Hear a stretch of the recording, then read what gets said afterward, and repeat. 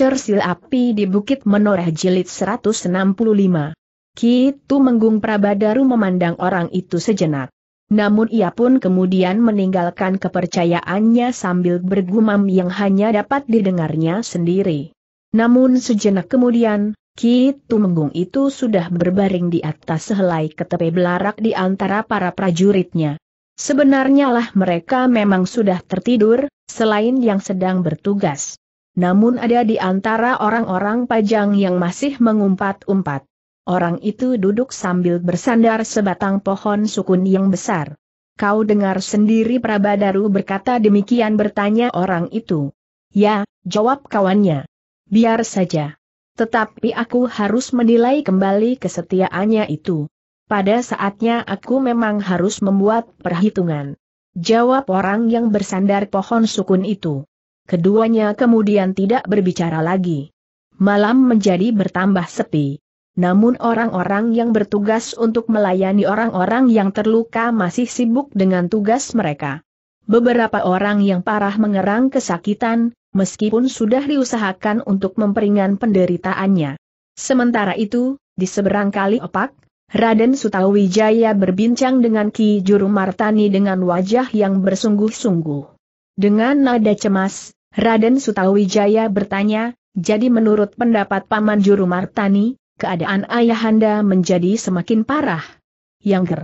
Seorang petugas sandi mengatakan, bahwa hampir saja Kang Jeng Sultan jatuh dari punggung gajahnya. Sehingga dengan demikian, maka niat Kang Jeng Sultan untuk turun ke Medan hari ini telah ditangguhkan, jawab Ki Juru. Raden Sutawijaya menunduk dalam-dalam.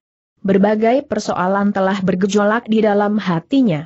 Bagaimanapun juga ia tidak dapat melupakan kasih sayang ayahanda angkatnya itu kepadanya. Tidak ubahnya dengan kasih sayang Kang Jeng Sultan itu kepada puteranya sendiri. Terbayang di angan-angan Raden Sutawijaya, saat ia mengikuti ayahandanya Ki Gede Pemanahan untuk menundukkan perlawanan Arya Penangsang. Kang Jeng Sultan itu tidak sampai hati melepaskannya tanpa perlindungan. Karena itulah, maka senjata yang paling baik yang ada di perbendaharaan pusaka pajang telah diberikan oleh ayahanda angkatnya itu kepadanya. Kang Jeng Kiai Pleret. Memang kadang-kadang terbersit penyesalan, bahwa pada suatu saat akan terjadi benturan kekuatan antara Pajang dan Mataram. Seandainya, ya, seandainya ia tidak melakukan satu tindakan yang sekedar beralas pada harga diri, maka keadaannya memang akan berbeda. Tidak akan ada kesempatan bagi orang-orang yang sekedar mementingkan diri sendiri untuk justru telah menjadi penggerak dari pertentangan yang memuncak dan yang kemudian telah terungkap dalam satu medan yang dahsyat, yang telah mengorbankan anak-anak terbaik dari Pajang dan Mataram. Paman, berkata Raden Sutawijaya kemudian. Sehubungan dengan keadaan ayahanda, apakah yang sebaiknya aku lakukan anak mas Senapati Ingalaga? Perang telah pecah. Sebenarnya lah justru kita sekarang melihat, bahwa perang ini meskipun menurut wujud lahiriahnya, anak mas melawan kekuasaan ayahanda Sultan Pajang, tetapi dalam kenyataannya, anak mas telah berperang melawan orang-orang yang justru ingin menundukkan kekuasaan ayahanda sultan untuk menyusun satu kekuasaan yang sesuai dengan keinginan mereka. Perang ini telah diketahui dengan pasti oleh ayahanda sultan dan bahkan ayahanda sultan telah menentukan hari esok bagi Pajang. Karena itu, hal ini merupakan pertimbangan-pertimbangan baru bagi anak Mas Sutawijaya. Raden Sutawijaya menarik nafas dalam-dalam. Tiba-tiba darah yang hampir membeku di dalam jantungnya, telah bergejolak kembali. Dengan pasti ia kemudian berkata, benar paman. Aku harus menghancurkan kekuatan yang membayangi kekuasaan ayahanda Sultan Pajang sekarang ini. Aku harus dapat menghancurkan kekuatan pasukan Pajang yang ada di sayap sebelah menyebelah, karena demikianlah isyarat yang aku terima dari ayahanda Sultan. Ki Juru Martani mengangguk-angguk. Kemudian katanya, bagus. Itu adalah tugasmu sekarang. Raden Sutawijaya pun kemudian kembali ke tempatnya. Ketika ia bertemu dengan Untara, maka ia pun berkata, Bagaimanapun keadaan ayahanda, kita bertempur terus. Kita telah berbuat sesuatu, justru untuk menegakkan kuasa Ayahanda Sultan Pajang. Kita harus dapat menghancurkan kekuatan yang membayangi kekuasaan Ayahanda Sultan itu sampai tuntas. Untara mengangguk kecil. Katanya, baiklah Raden. Besok kita akan berbuat lebih baik lagi. Hari ini kita sudah berhasil mengurangi kekuatan lawan dalam jumlah yang cukup besar. Mungkin besok mereka akan menurunkan pasukan cadangannya, apakah kita juga akan menurunkan pasukan cadangan bertanya Raden Sutawijaya. Belum. Aku masih berharap dengan kekuatan yang ada akan mendesak dan jika mungkin memecahkan pasukan lawan, jawab Puntara. Orang-orang Pajang tentu tidak akan melakukan kebodohan itu sekali lagi, berkata Raden Sutawijaya. Kita akan menghadapinya langsung pasukan Sabung Sari yang tangguh itu akan turun ke tepian. Pasukan Pasantenan yang ada di bagian sayap ini akan justru berusaha menyerang pasukan Pajang besok dari belakang. Mereka akan melintas kali opak dan menunggu di belakang gerumbul-gerumbul perdu. Itu sangat berbahaya, berkata Senapati Ingalaga, jika pasukan cadangan Pajang yang tersisa kemudian dikerahkan, maka orang-orang pasantenan itu akan terjepit antara dua kekuatan pajang. Sudah diperhitungkan oleh Sabung Sari, jawab Puntara. Mereka akan menusuk kekuatan lawan dan memasuki daerah pertahanan mereka. Dengan demikian, apabila pasukan Sabung Sari dapat berhubungan dengan orang-orang pasantenan, maka pasukan pajang akan terbelah. Raden Sutawijaya mengangguk-angguk. Ia sejak semula memang percaya bahwa Untara memiliki kemampuan seorang senapati yang mumpuni, meskipun, secara pribadi ia bukan seorang yang memiliki kemampuan kanuragan yang pinunjul. Baiklah, berkata Raden Sutawijaya kemudian, sekarang beristirahatlah. Kita semua memerlukan beristirahat. Mudah-mudahan di sayap yang lain besok akan dapat berhasil pula. Aku memang menunggu laporan jika terjadi perubahan. Jika tidak, maka Ki Lurah Beranjangan masih tetap akan mempergunakan caranya yang semula. Bertempur langsung beradu dada. Nampaknya kekuatan kedua belah pihak masih tetap berimbang. Ya, dan agaknya pasukan khusus dari Mataram memang sudah benar-benar siap, berkata Untara. Tetapi nampaknya di sayap sebelah, perang senapati akan segera terjadi para senapati dari Pajang sudah turun ke medan dan langsung berada di garis pertempuran, berkata Raden Sutawijaya kemudian. Untara menarik nafas dalam. Ia sadar, bahwa adiknya berada di sayap yang lain itu. Meskipun Untara tahu benar, bahwa kemampuan adiknya justru lebih baik dari kemampuannya, namun rasa-rasanya kebiasaannya melindungi adiknya sejak masa kanak-kanaknya, masih tetap berpengaruh atas perasaannya. Rasa-rasanya ia ingin minta kepada Senapati Ingalaga agar memerintahkan adiknya untuk berada di satu sayap, agar ia dapat mengawasinya. Tetapi Untara tidak mengatakan niatnya itu. Ia berusaha untuk mempergunakan nalarnya, bahwa adiknya akan dapat menjaga dirinya sendiri.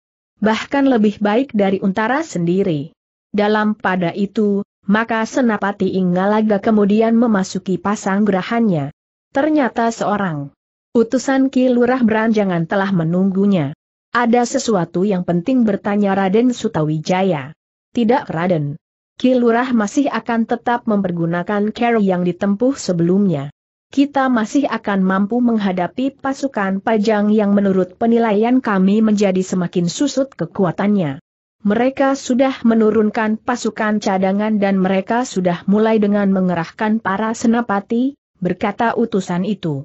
Aku sudah menduga bahwa perang senapati akan segera terjadi.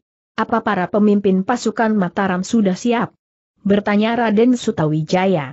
Semuanya sudah siap. Jika pada hari-hari ini para pemimpin itu berada di antara pasukan Mataram, maka mereka akan segera tampil di paling depan menghadapi para senapati. Sementara Pandan Wangi dan Sekar Merah masih berada di antara pasukan cadangan yang di hari-hari pertama ini membantu kegiatan di dapur. Tetapi pada saatnya, apabila keadaan memaksa, mereka tentu akan segera turun ke medan. Bagaimana dengan Kiai Gringsing? Ki Waskita, Ki Gede dan para senapati yang lain bertanya Raden Sutawijaya.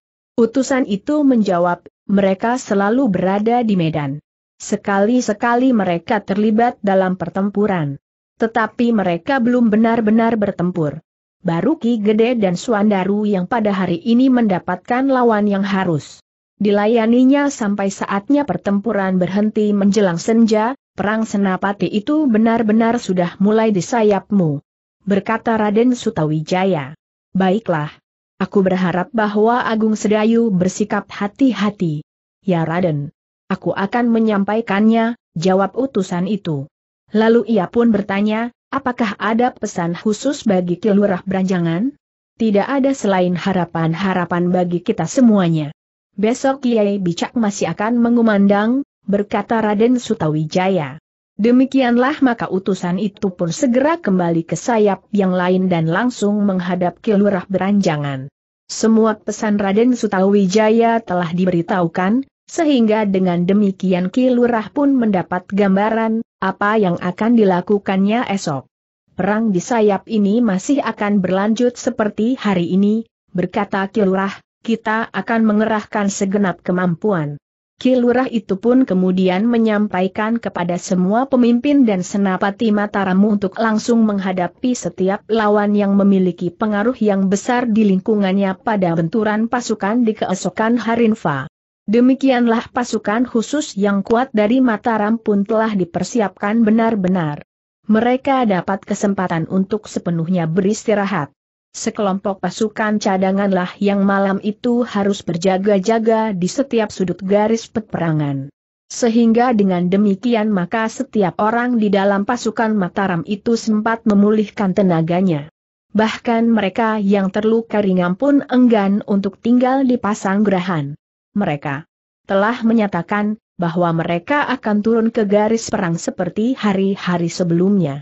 Lukamu akan dapat berdarah lagi, berkata seorang yang merawat orang-orang yang terluka. Tidak apa-apa. Hanya segores kecil di pundak. Aku masih mampu menggerakkan pedang dengan baik. Lukaku di pundak kanan. Sementara aku hanya dapat bermain pedang dengan tangan kiri. Aku memang kidal, berkata orang yang terluka itu. Orang-orang yang merawatnya mencoba untuk mencegahnya bersama beberapa orang yang lain tetapi mereka justru menemui pemimpin mereka masing-masing, untuk menyatakan diri, maju ke medan perang di keesokan harinya. Aku mengenali orang yang melukai aku, berkata seorang di antara mereka. Kau tidak akan menemukannya di peperangan, jawab pemimpinnya. Tetapi aku akan maju besok, desaknya. Baiklah. Tetapi jika pendarahan itu terjadi lagi, kau aku perintahkan untuk menarik diri, berkata pemimpinnya. Demikianlah, maka pasukan Mataram pun benar-benar telah bersiap menghadapi hari-hari yang semakin gawat. Mereka pun beristirahat di tempat yang bertebar. Ada di antara mereka yang tidur di pendapa-pendapa, tetapi ada juga yang memilih tidur di bawah pepohonan di halaman.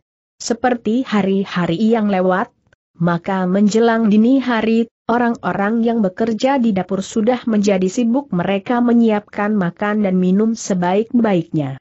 Sementara itu, para prajurit dan orang-orang yang berada di dalam pasukan yang akan bertempur, masih mendapat kesempatan untuk beristirahat beberapa saat lamanya. Namun dalam pada itu, Untara sudah berbuat sesuatu. Ia telah menghubungi orang-orang pasantenan. Dengan diam-diam mereka pun telah mempersiapkan diri. Bahkan secara khusus mereka telah makan dan minum mendahului kawan-kawannya. Berhati-hatilah, pesan Untara kepada senapati pasukan yang langsung dipegang oleh Putra Ki Gede Pasantenan sendiri. Kami akan berbuat sebaik-baiknya. Mudah-mudahan rencana ini dapat berlangsung sebaik-baiknya, jawab Putra Ki Gede Pasantenan. Jika kau mengalami kesulitan, berilah isyarat dengan panas sendaren. Aku akan mengambil satu sikap, berkata Untara. Baiklah. Mudah-mudahan segalanya berhasil baik, jawab senapati dari pasantenan itu. Sementara itu, Untara pun telah memanggil Sabung Sari pula. Keduanya pun kemudian dipertemukan untuk membuat pembicaraan yang terakhir. Ingat, Aku memakai pohon benda itu sebagai patokan. Berkata Sabung Sari, jangan bergeser. Atau jika perlu, berilah isyarat sebagaimana sudah disepakati, Putera Ki Gede Pasantenan itu pun mengangguk-angguk.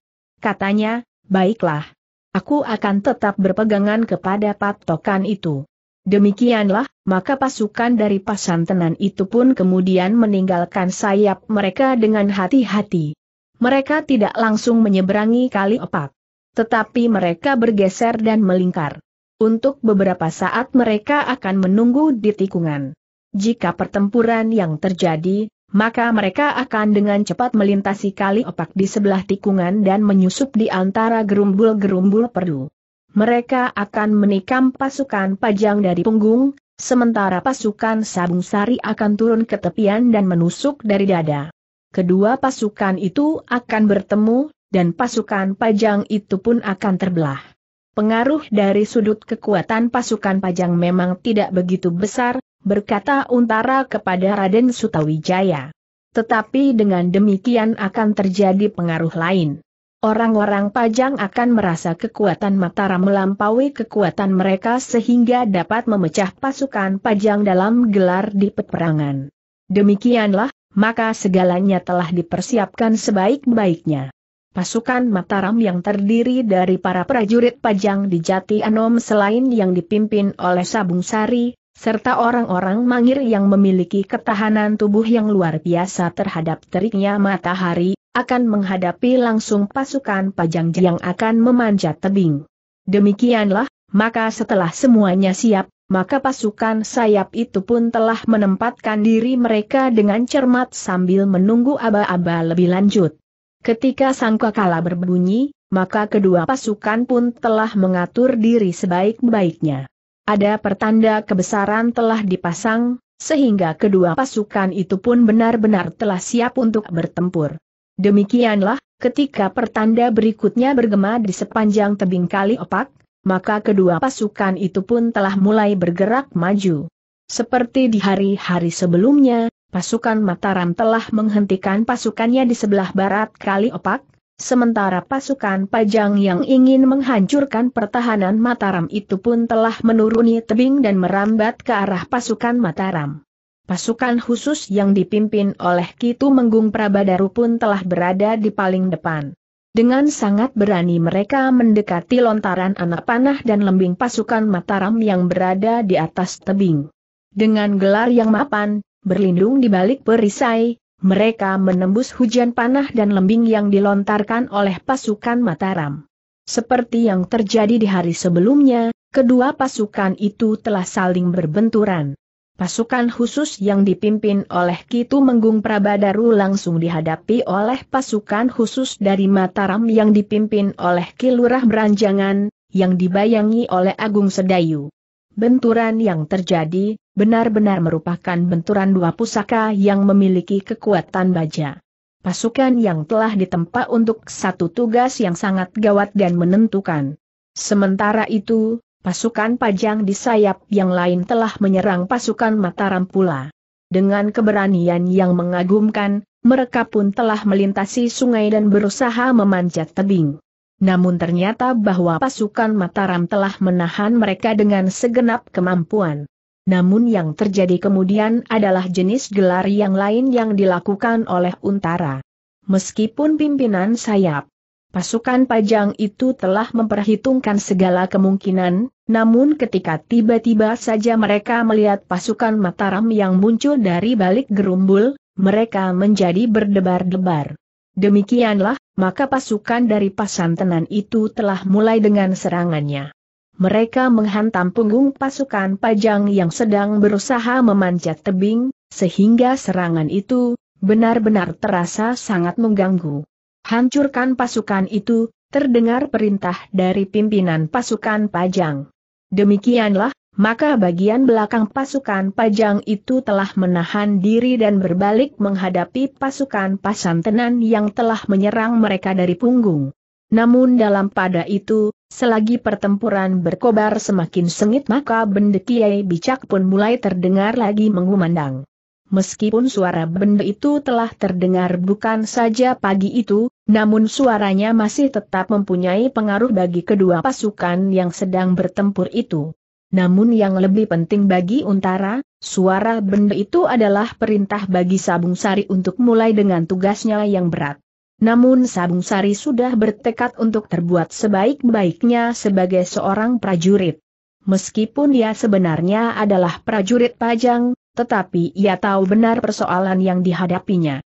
Ia bukan saja bergerak karena perintah Untara. Tetapi ia sudah mendapat penjelasan dari semua peristiwa yang dihadapinya.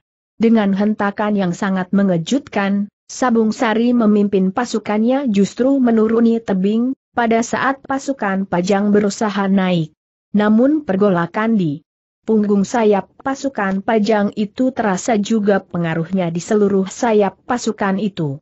Apalagi ketika tiba-tiba saja pasukan yang dipimpin Sabung Sari itu bagaikan tajamnya ujung tombak menusuk langsung ke jantung sayap pasukan Pajang. Garak pasukan yang dipimpin Untara itu memang merupakan satu usaha yang sangat berani. Tetapi justru karena gerak itu di luar dugaan, maka benar-benar menggoyahkan perlawanan pasukan Pajang. Namun dalam pada itu, Untara tidak membiarkan Sabung Sari dijepit dari sebelah menyebelah. Pasukan yang berada di atas tebing pun kemudian telah bertempur dengan dahsyatnya. Mereka bukan saja menghujani lawan dengan senjata, tetapi ujung sayap itu telah berusaha pula untuk mendesak pasukan lawan. Perlahan-lahan mereka justru mulai bergeser menepi dan ujung sayap itu pun akhirnya berusaha untuk mendesak sehingga mereka menuruni tebing. Orang-orang mangir yang tidak mengenal trik matahari, memiliki ketahanan tersendiri. Mereka seakan-akan tidak merasa perlu untuk berhemat tenaga. Tenaga mereka bagaikan tidak pernah susut, meskipun mereka sudah bertempur sehari penuh. Dengan demikian, maka pertempuran di sayap itu menjadi sempit. Pasukan Pasantenan benar-benar menggetarkan pasukan Pajang, justru karena serangannya yang tiba-tiba. Sementara itu, prajurit Pajang terpilih yang dipimpin oleh Sabung Sari, yang bertempur di pihak Mataram telah menusuk semakin dalam. Di ujung sayap orang-orang Mangir mulai menuruni tebing. Dalam pada itu, di sayap yang lain, pertempuran pun telah berlangsung dengan cara yang berbeda. Kedua pasukan berbenturan dengan dahsyatnya. Sementara orang-orang Pajang berusaha naik ke atas tebing dan mendesak pasukan Mataram. Tetapi pasukan Mataram bertahan dengan gigihnya. Setiap jengkal tanah dipertahankannya dengan sepenuh kemampuan. Dalam pada itu, Suandaru yang belum berhasil menyelesaikan lawannya di hari sebelumnya, seolah-olah telah mencari lawannya itu di antara pasukan lawannya. Ketika ia mulai menjadi jemu, maka tiba-tiba saja cambuknya lah yang telah meledak dengan dahsyatnya. Jika orang itu jantan, dengan mendengar cambuk ini, ia akan datang mencariku, berkata Suandaru di dalam hatinya. Sebenarnya lah, suara cambuk Suandaru telah menggelitik seorang senapati pajang untuk mencarinya. Dengan jantung yang bergejolak ia menggeram, aku harus membunuhnya hari ini. Dengan tuntunan arah suara cambuk Suandaru, maka orang itu pun segera dapat menemukannya. Dengan marah orang itu langsung menyerang Suandaru sambil berteriak. Kau kira kau laki-laki sendiri di peperangan ini. Suandaru tidak menjawab. Tetapi ia memutar cambuknya dan kemudian menghentakannya dengan kerasnya, sehingga suaranya bagaikan meledaknya petir di udara. Lawannya meloncat mundur. Tetapi ia pun segera bersiap meloncat menyerang. Seperti Suandaru, maka kemarahannya tidak lagi dapat dikekangnya. Sejenak kemudian keduanya telah bertempur dengan dahsyatnya. Masing-masing memiliki kelebihan yang sulit dicari tandingannya. Yang juga bertemu dengan lawannya adalah Ki Gede Menoreh. Kedua pasukan yang dipimpin oleh kedua orang yang pernah terlibat dalam pertempuran itu telah bertemu lagi. Dengan demikian, maka kedua orang senapatinya pun telah bertemu pula dan mengulangi pertempuran yang pernah terjadi di hari sebelumnya. Namun dalam pada itu, ternyata Kitu Menggung Prabadaru yang merasa dirinya mendapat penilaian yang kurang baik dari orang yang disebut Kakang Panji itu berusaha juga memperbaiki keadaannya. Ia telah memerintahkan orang-orangnya dari pasukan khusus yang tangguh itu untuk mengerahkan kekuatan mereka melampaui hari-hari sebelumnya. Kita harus berhasil hari ini, berkata Kitu Menggung, aku akan membuktikan kepada Kakang Panji, bahwa pasukanku adalah pasukan yang terbaik yang ada di medan ini. Tidak ada pasukan dari mana pun juga di antara pasukan Pajang dan Mataram yang dapat mengimbangi kemampuan orang-orangnya. Para senapati yang ada di dalam pasukan itu pun telah berusaha dengan sekuat kemampuan mereka untuk mewujudkan keinginan Kitu Menggung itu. Tetapi mereka pun harus melihat satu kenyataan, bahwa mereka telah dihadapkan kepada satu pasukan khusus yang juga memiliki kelebihan dari pasukan-pasukan yang lain. Dalam kegelisahannya, maka Kitu Menggung Prabadaru itu pun tidak lagi mengekang dirinya sendiri. Dengan tangkasnya ia bertempur di antara prajurit-prajuritnya, sehingga pasukan lawannya menjadi ngeri melihat sikapnya. Beberapa orang telah bertempur dalam satu kelompok untuk membatasi gerak itu menggung Prabadaru. Namun setiap kali ia berhasil memecahkan lingkaran orang-orang Mataram yang ingin menghambatnya. Dalam pada itu, pasukan Pajang telah hampir seluruhnya berada di atas tebing. Bahkan beberapa langkah mereka berhasil mendesak pasukan Mataram. Pasukan khusus dari Pajang telah bertempur dengan kemampuan yang mendebarkan. Senjata mereka berputaran, terayun dan menyambar dengan dahsyatnya. Sementara Kitu Menggung Prabadaru sendiri telah ikut langsung bertempur di antara mereka. Dengan demikian, maka pasukan khusus dari Pajang itu benar-benar merupakan satu pasukan yang menggetarkan bukan saja karena kemampuan setiap orang di dalam pasukan itu, tetapi pimpinan pasukan itu sendiri telah dengan langsung di antara pasukannya. Orang-orang yang berani mendekati Kitu Menggung Prabadaru, akan segera terdorong menjauh. Yang mencoba untuk tetap bertahan, akan segera terlempar dengan luka di tubuhnya. Bahkan dua tiga orang yang menyerang bersama-sama akan mengaduh bersama-sama pula karena kulitnya terkoyak oleh senjata Kitu Menggung Prabadaru. Orang lain tidak boleh menilai pasukanku sebagai pasukan yang tidak berarti, geram Kitu Menggung yang merasa tersinggung oleh penilaian Kakang Panji. Dengan hadirnya Kitu Menggung langsung di pasukannya dan dengan tanpa ragu-ragu menghadapi setiap lawan sebagaimana harus dihadapi di peperangan, maka pasukan khusus dari Mataram itu pun menjadi terdesak. Apalagi ketika para senapati di dalam pasukan itu pun telah berbuat sebagaimana dilakukan oleh Kitu Menggung Prabadaru. Dalam pada itu, Ki Lurah Beranjangan telah merasakan tekanan yang sangat berat pada pasukannya.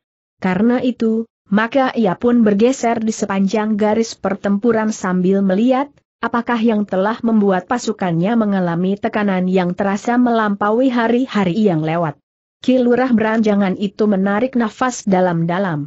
Ternyata ia melihat Kitu Menggung bertempur seperti seekor harimau kelaparan.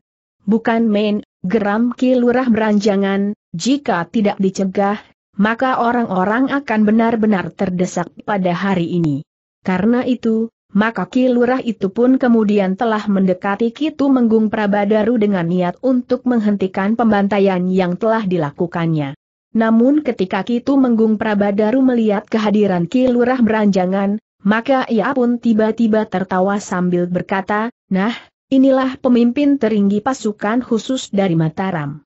Aku ingin melihat, apakah kau benar-benar seorang senapati pinunjul adalah satu kehormatan bagi kita berdua, bahwa kita dapat bertemu di medan sebagai dua orang panglima dari satu pasukan yang disegani. Kilurah beranjangan menarik nafas dalam-dalam. Ia sadar, bahwa Kitu Menggung Prabadaru adalah seorang yang memiliki ilmu yang sangat dahsyat. Tetapi adalah tanggung jawabnya untuk menghadapi Kitu Menggung itu apa pun yang akan terjadi. Sejenak kemudian keduanya sudah berhadapan. Dengan sigapnya Kitu Menggung langsung menyerang Ki Lurah Beranjangan dengan senjatanya. Senjata Kitu Menggung bukan senjata yang aneh. Yang digenggamnya adalah sebilah pedang yang khusus, terbuat dari baja yang kehitam-hitaman, ditabui dengan pamer yang bagaikan menyala. Ki Lurah Beranjangan yang bersenjata tombak pendek itu pun berkisar selangkah. Dengan tombaknya Ki Lurah langsung mematuk lambung. Tetapi Ki Tumenggung berputar. Dengan pedangnya ia menangkis senjata Ki Lurah beranjangan. Ki Lurah terkejut ketika tombaknya membentur pedang Ki Tumenggung Prabadaru. Hampir saja tombaknya terlepas dari genggaman. Namun untunglah, bahwa ia masih mampu memperbaiki keadaan. Aku kurang berhati-hati, berkata Ki Lurah beranjangan. Namun ketika keduanya bertempur semakin cepat, maka ternyata bahwa Ki Lurah Beranjangan bukannya lawan yang seimbang dari Ki Tumenggung Prabadaru. Serangan-serangan Ki Tumenggung yang semakin cepat, menjadi semakin sulit untuk dilawan. Untunglah bahwa beberapa orang dari pasukan khusus Ki Lurah tanggap akan keadaan itu. Dua orang di antara mereka telah menempatkan diri untuk bersama-sama Ki Lurah Beranjangan melawan Ki Tumenggung Prabadaru. Jangan hanya bertiga, berkata Ki Tumenggung Prabadaru, semua senapati dari Mataram aku persilahkan untuk menempatkan diri melawan Prabadaru. Ki Lurah Beranjangan menggeram. Ujung tombaknya langsung mematuk dada, sementara dua orang yang lain bersama-sama pula menyerang dengan cepatnya. Tetapi serangan-serangan itu tidak menggetarkan jantung Ki Tumenggung Prabadaru. Ia mampu mengelakkan semua serangan itu dengan gerak yang hampir tidak dapat diikuti oleh lawan-lawannya. Yang terjadi kemudian, benar-benar mengejutkan Kilurah beranjangan. Ki Tumenggung itu mampu bergerak terlalu cepat, sehingga pedangnya yang berputar dan dirinya sendiri, seakan-akan telah berubah menjadi segumpal awan yang dengan cepatnya telah melibat kedua orang kawannya. Ketika lawan itu bergeser, maka kedua orang itu pun telah terkapar di tanah. Tubuhnya yang koyak memancarkan darah yang merah membasahi bumi Prambanan. Bahkan luka yang terdapat pada setiap orang yang terkapar itu bukan hanya segores, tetapi silang melintang. Bukan main, geram kilurah di dalam hatinya. Tetapi sebagai seorang senapati ia sama sekali tidak menunjukkan kelemahannya. Ia sadar, bahwa kemampuan Kitu Menggung itu tidak akan dapat diimbanginya. Namun ia harus memimpin pasukannya menghadapi pasukan khusus dari Pajang. Termasuk panglimanya. Karena itu, Ki Lurah justru menjadi marah. Ia pun menghentakkan segenap kemampuannya menghadapi Kitu Menggung Prabadaru. Ketika dua orang kawannya telah tidak berdaya, maka dua orang lain telah tampil pula. Ki Lurah kembali bertiga menghadapi Kitu Menggung Prabadaru yang memiliki ilmu yang ngegirisi itu. Anak iblis, geram Kitu Menggung, sudah aku katakan. Jangan hanya bertiga. Semakin banyak, semakin baik. Dengan demikian, tugasku akan menjadi semakin cepat. Pasukan yang disebut pasukan khusus dari Mataram ini akan cepat menjadi habis. Meskipun aku masih ingin membiarkan penglimanya untuk hidup, agar ia dapat menyaksikan kehancuran pasukannya. Kilurah beranjangan menggeram. Dengan tombak pendeknya ia meloncat menyerang dengan garangnya. Tetapi serangannya itu sama sekali tidak menyentuh Kitu Menggung Prabadaru. Dengan tangkasnya ia mengelak. Bahkan ketika dua orang kawan Kilurah menyerangnya pula beruntun, maka ia pun dapat mengelakkan dirinya tanpa kesulitan. Sejenak kemudian, pertempuran itu pun menjadi bertambah cepat. Sekali lagi pedang Kitu Menggung berputar bergulung-gulung. Kilurah beranjangan yang telah mengalami satu akibat yang mengerikan dari libatan putaran pedang Kitu Menggung itu pun menjadi bersiaga. Dengan lantang ia memberi peringatan kepada kedua orang kawannya. Kedua kawannya itu pun mengetahui pula akibat yang telah terjadi atas dua orang kawannya yang terdahulu. Karena itu, maka mereka pun telah merapat untuk melawan bersama-sama. Sementara Ki Lurah beranjangan dengan mempergunakan segenap kemampuan berusaha untuk menahan libatan gumpalan putaran pedang yang mengerikan itu. Usaha ketiga orang itu untuk sementara berhasil. Ki Tu Menggung mengumpat pendek. Tetapi dengan cepat putaran pedang itu berkisar. Dengan tiba-tiba saja, Ki Tu Menggung telah meloncat untuk mengambil jarak.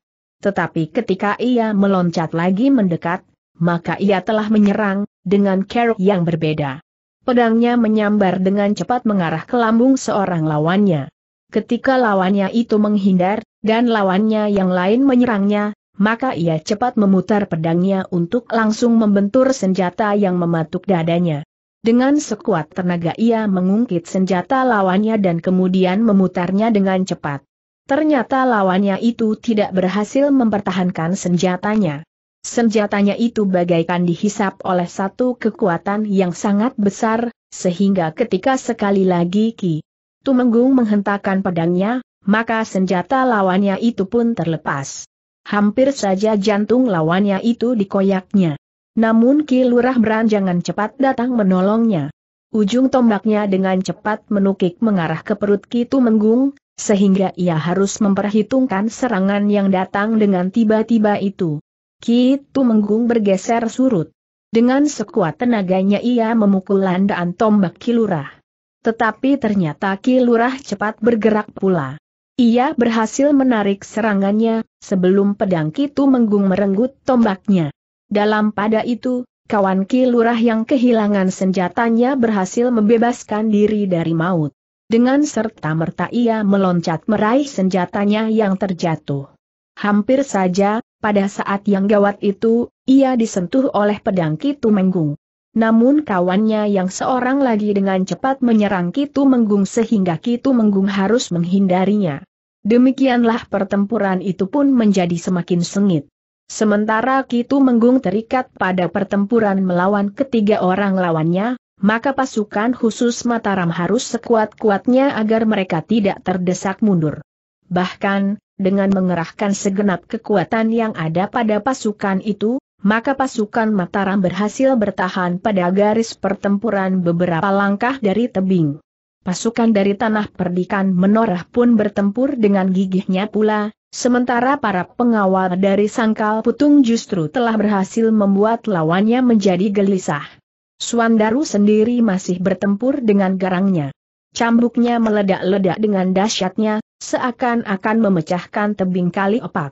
Dalam pada itu, selagi kedua pasukan di sepanjang tebing kali opak itu bertempur dengan sengitnya, seorang di antara para senapati pajang yang kurang dikenal namanya, justru tengah mengadakan pengamatan dengan saksama.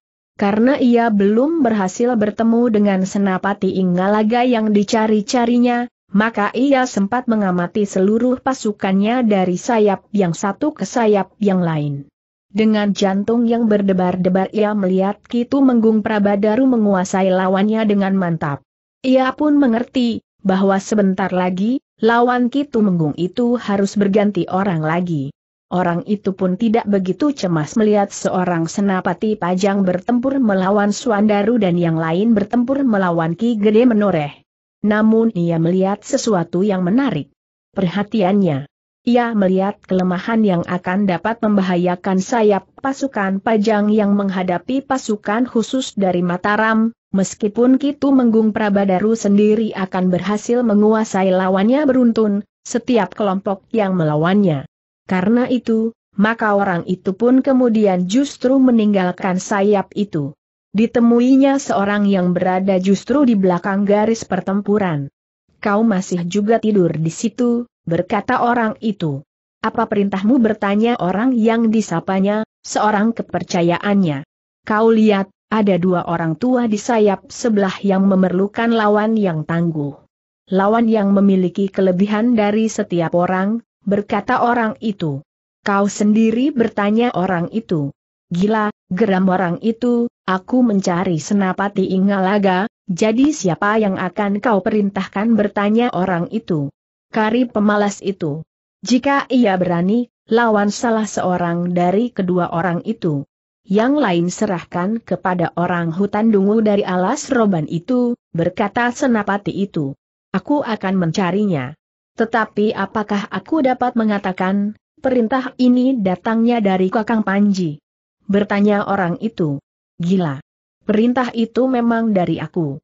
Katakan, perintahku aku tidak dapat mengganggu Prabadaru sekarang. Ia sedang bertempur. Tetapi pasukannya ternyata tidak sebagaimana aku harapkan. Kekuatan yang dibanggakan itu tertahan oleh pasukan khusus dari Mataram, yang dipimpin tidak lebih dari Kilurah Beranjangan. Dan sekarang Kitu Menggung baru menunjukkan kepada Kilurah, bahwa pimpinan pasukan khusus dari Mataram itu tidak seimbang dengan pimpinan pasukan khusus dari Pajang.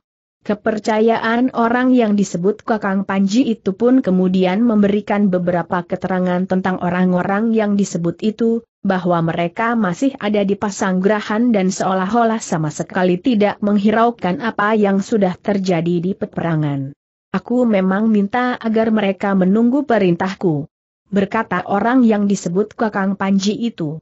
Lalu, menurut pendapatku, mereka memang harus diberitahu sebagaimana akan kau lakukan, siapakah yang harus mereka lawan, agar mereka tidak melakukan sesuatu yang dapat mengacaukan segala rencana yang sudah tersusun sebaik-baiknya.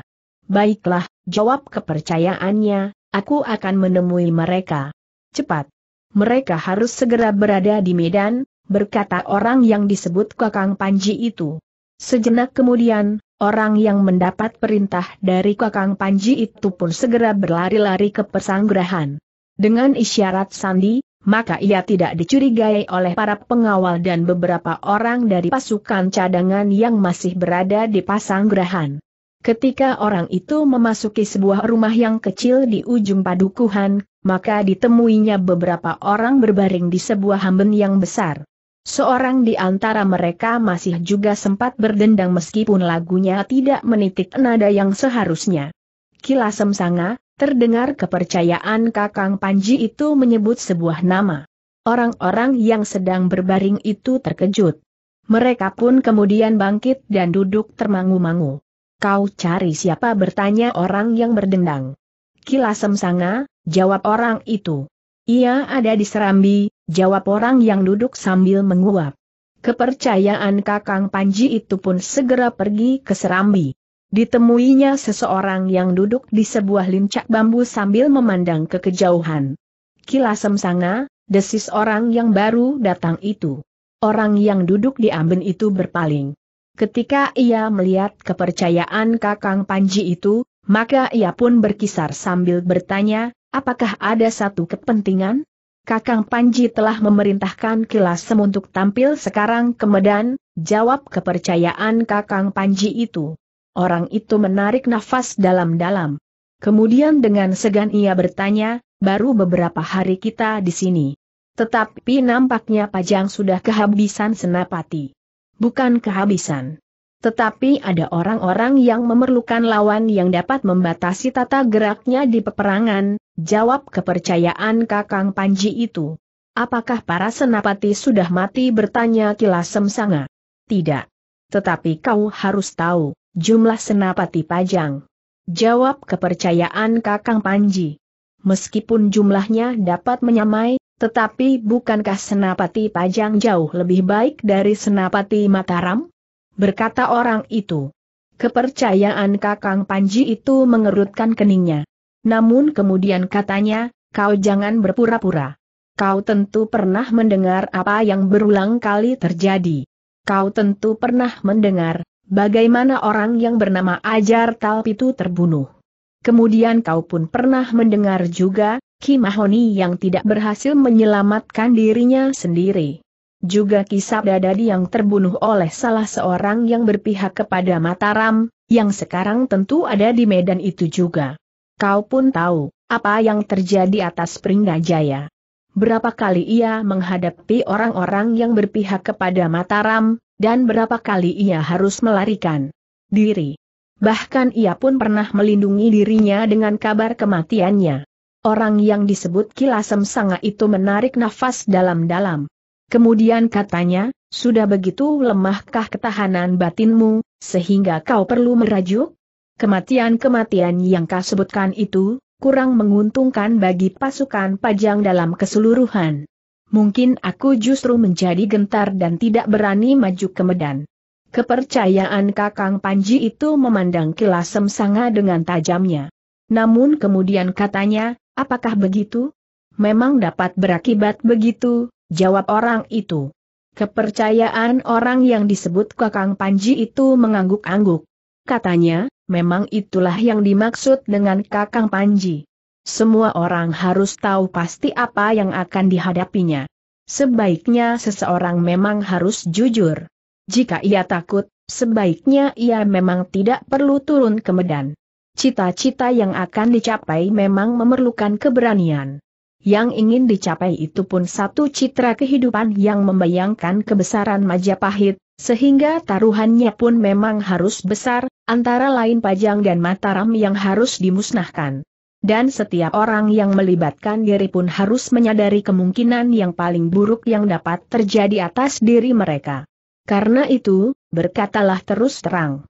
Apakah kau bersedia ikut serta atau tidak? Gila, geram orang itu, kau harus sadar, bahwa aku akan dapat mengkoyak mulutmu. Kau sangka aku tidak berani melakukannya, karena kau budak Kakang Panji? Kau sangka bahwa aku gentar menghadapi Kakang Panji sendiri. Yang aku maksud bukan menghadapi Kakang Panji. Tetapi menghadapi orang-orang Mataram, jawab kepercayaan Kakang Panji itu. Kau memang gila, geram kilasem sanga, Sebenarnya kau tidak usah mempergunakan carry yang memuakan itu untuk mendorongku ke medan. Aku sudah mencoba untuk mempergunakan carry yang wajar. Tetapi nampaknya kau masih terlalu malas untuk bangkit dan maju ke medan hari ini. Bahkan sekarang, jawab kepercayaan Kakang Panji itu. Orang yang disebut Kilasem Sanga itu mengumpat kasar. Tetapi ia pun kemudian bangkit sambil berkata, Aku akan membunuh orang yang kau maksud dalam waktu sepenginang. Kemudian aku akan istirahat lagi, sampai saatnya aku harus menghadapi Senapati Inggalaga sendiri. Kepercayaan orang yang disebut Kakang Panji itu mengerutkan keningnya. Hampir saja ia mengumpat, karena orang yang bernama Kilasem Sanga itu merasa dirinya berkepentingan untuk melawan Raden Sutawijaya yang bergelar Senapati Inggalaga tetapi niatnya diurungkan. Bahkan ia pun kemudian berkata, baiklah. Silahkan pergi ke Medan. Lawanmu sudah menunggu. Di sayap kanan ada dua orang tua yang memerlukan pelayanan. Siapa? Bertanya Kilasem Sanga. Aku tidak tahu, jawab orang itu. Kau suruh aku melawan orang yang tidak punya nama di dunia kanuragan? Kau mulai menghina aku lagi berkata Kilasem Sanga. Kakang Panji yang tahu pasti, apa yang harus kau lakukan, jawab kepercayaan Kakang Panji itu, pergilah. Aku ingin berbicara dengan Keboatang. Buat apa kau berbicara dengan orang dungu itu bertanya Kilasem Sanga. Ia salah seorang yang ditunjuk oleh Kakang Panji untuk melawan salah seorang dari kedua orang itu, jawab kepercayaan Kakang Panji. Kakang Panjimu itu pun dungu. Aku akan membunuh kedua orang tua itu, jawab Kilasem Sanga. Sebaiknya kau menghemat tenaga jika kau benar-benar ingin bertemu dengan Senapati Ingalaga, berkata kepercayaan Kakang Panji itu. Lalu, karena itu, biarlah kebawatang membantumu. Orang hutan itu tidak pantas ditempatkan di medan perang seperti yang terjadi. Tetapi jika itu yang dikehendaki oleh Kakang Panji, apa boleh buat, Orang itu berhenti sejenak, lalu, kenapa tidak Pringgajaya saja? Ia berbaur di medan.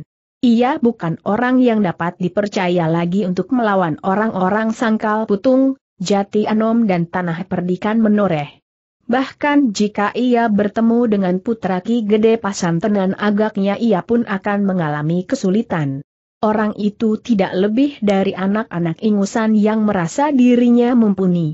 Biarkan saja orang itu menepuk dada karena ia dapat membunuh pengawal-pengawal kademangan atau para petani dari Mangir yang salah langkah, karena mereka meletakkan cangkul mereka dan memanggul tombak, berkata Kilasem Sanga.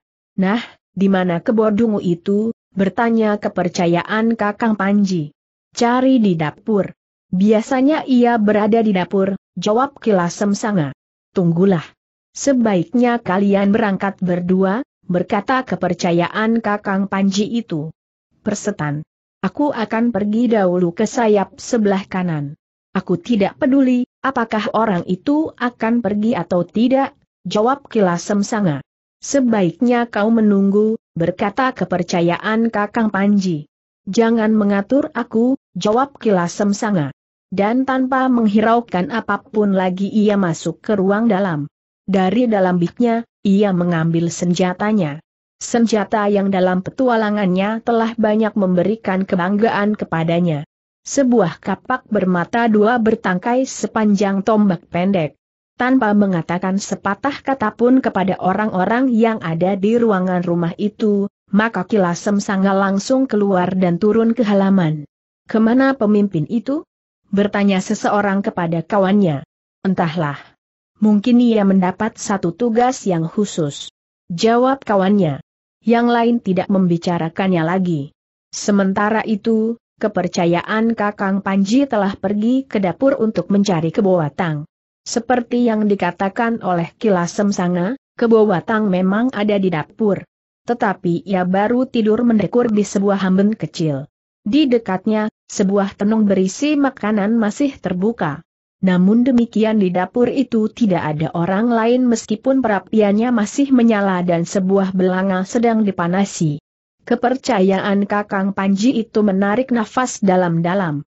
Yang disebut pemalas adalah kilasem sanga. Tetapi orang dari alas roban itu ternyata juga seorang pemalas. Hi, apakah kerjamu hanya tidur melulu bentak kepercayaan Kakang Panji? Orang itu tidak segera bangun. Beberapa kali kepercayaan Kakang Panji itu memanggilnya. Tetapi ia masih tetap tidur dengan nyenyaknya. Gila, geram kepercayaan Kakang Panji itu. Dia ambilnya sebuah gendi di atas paga bambu. Kemudian dia lemparkannya ke dinding di sebelah hamben tempat kebawatang itu tertidur. Ketika gendi itu pecah, maka kebawatang itu terkejut.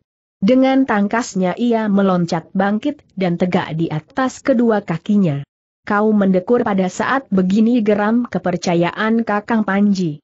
Iblis, bentak orang itu, kau mengejutkan aku. Orang Mataram sudah menginjak hidungmu, kau masih tertidur nyenyak, sahut kepercayaan Kakang Panji tidak kalah lantangnya. Apa maumu membangunkan aku bertanya ke Boatang. Kakang Panji menunjukmu, agar kau tampil sekarang di sayap sebelah kanan. Ada seorang yang telah menunggumu.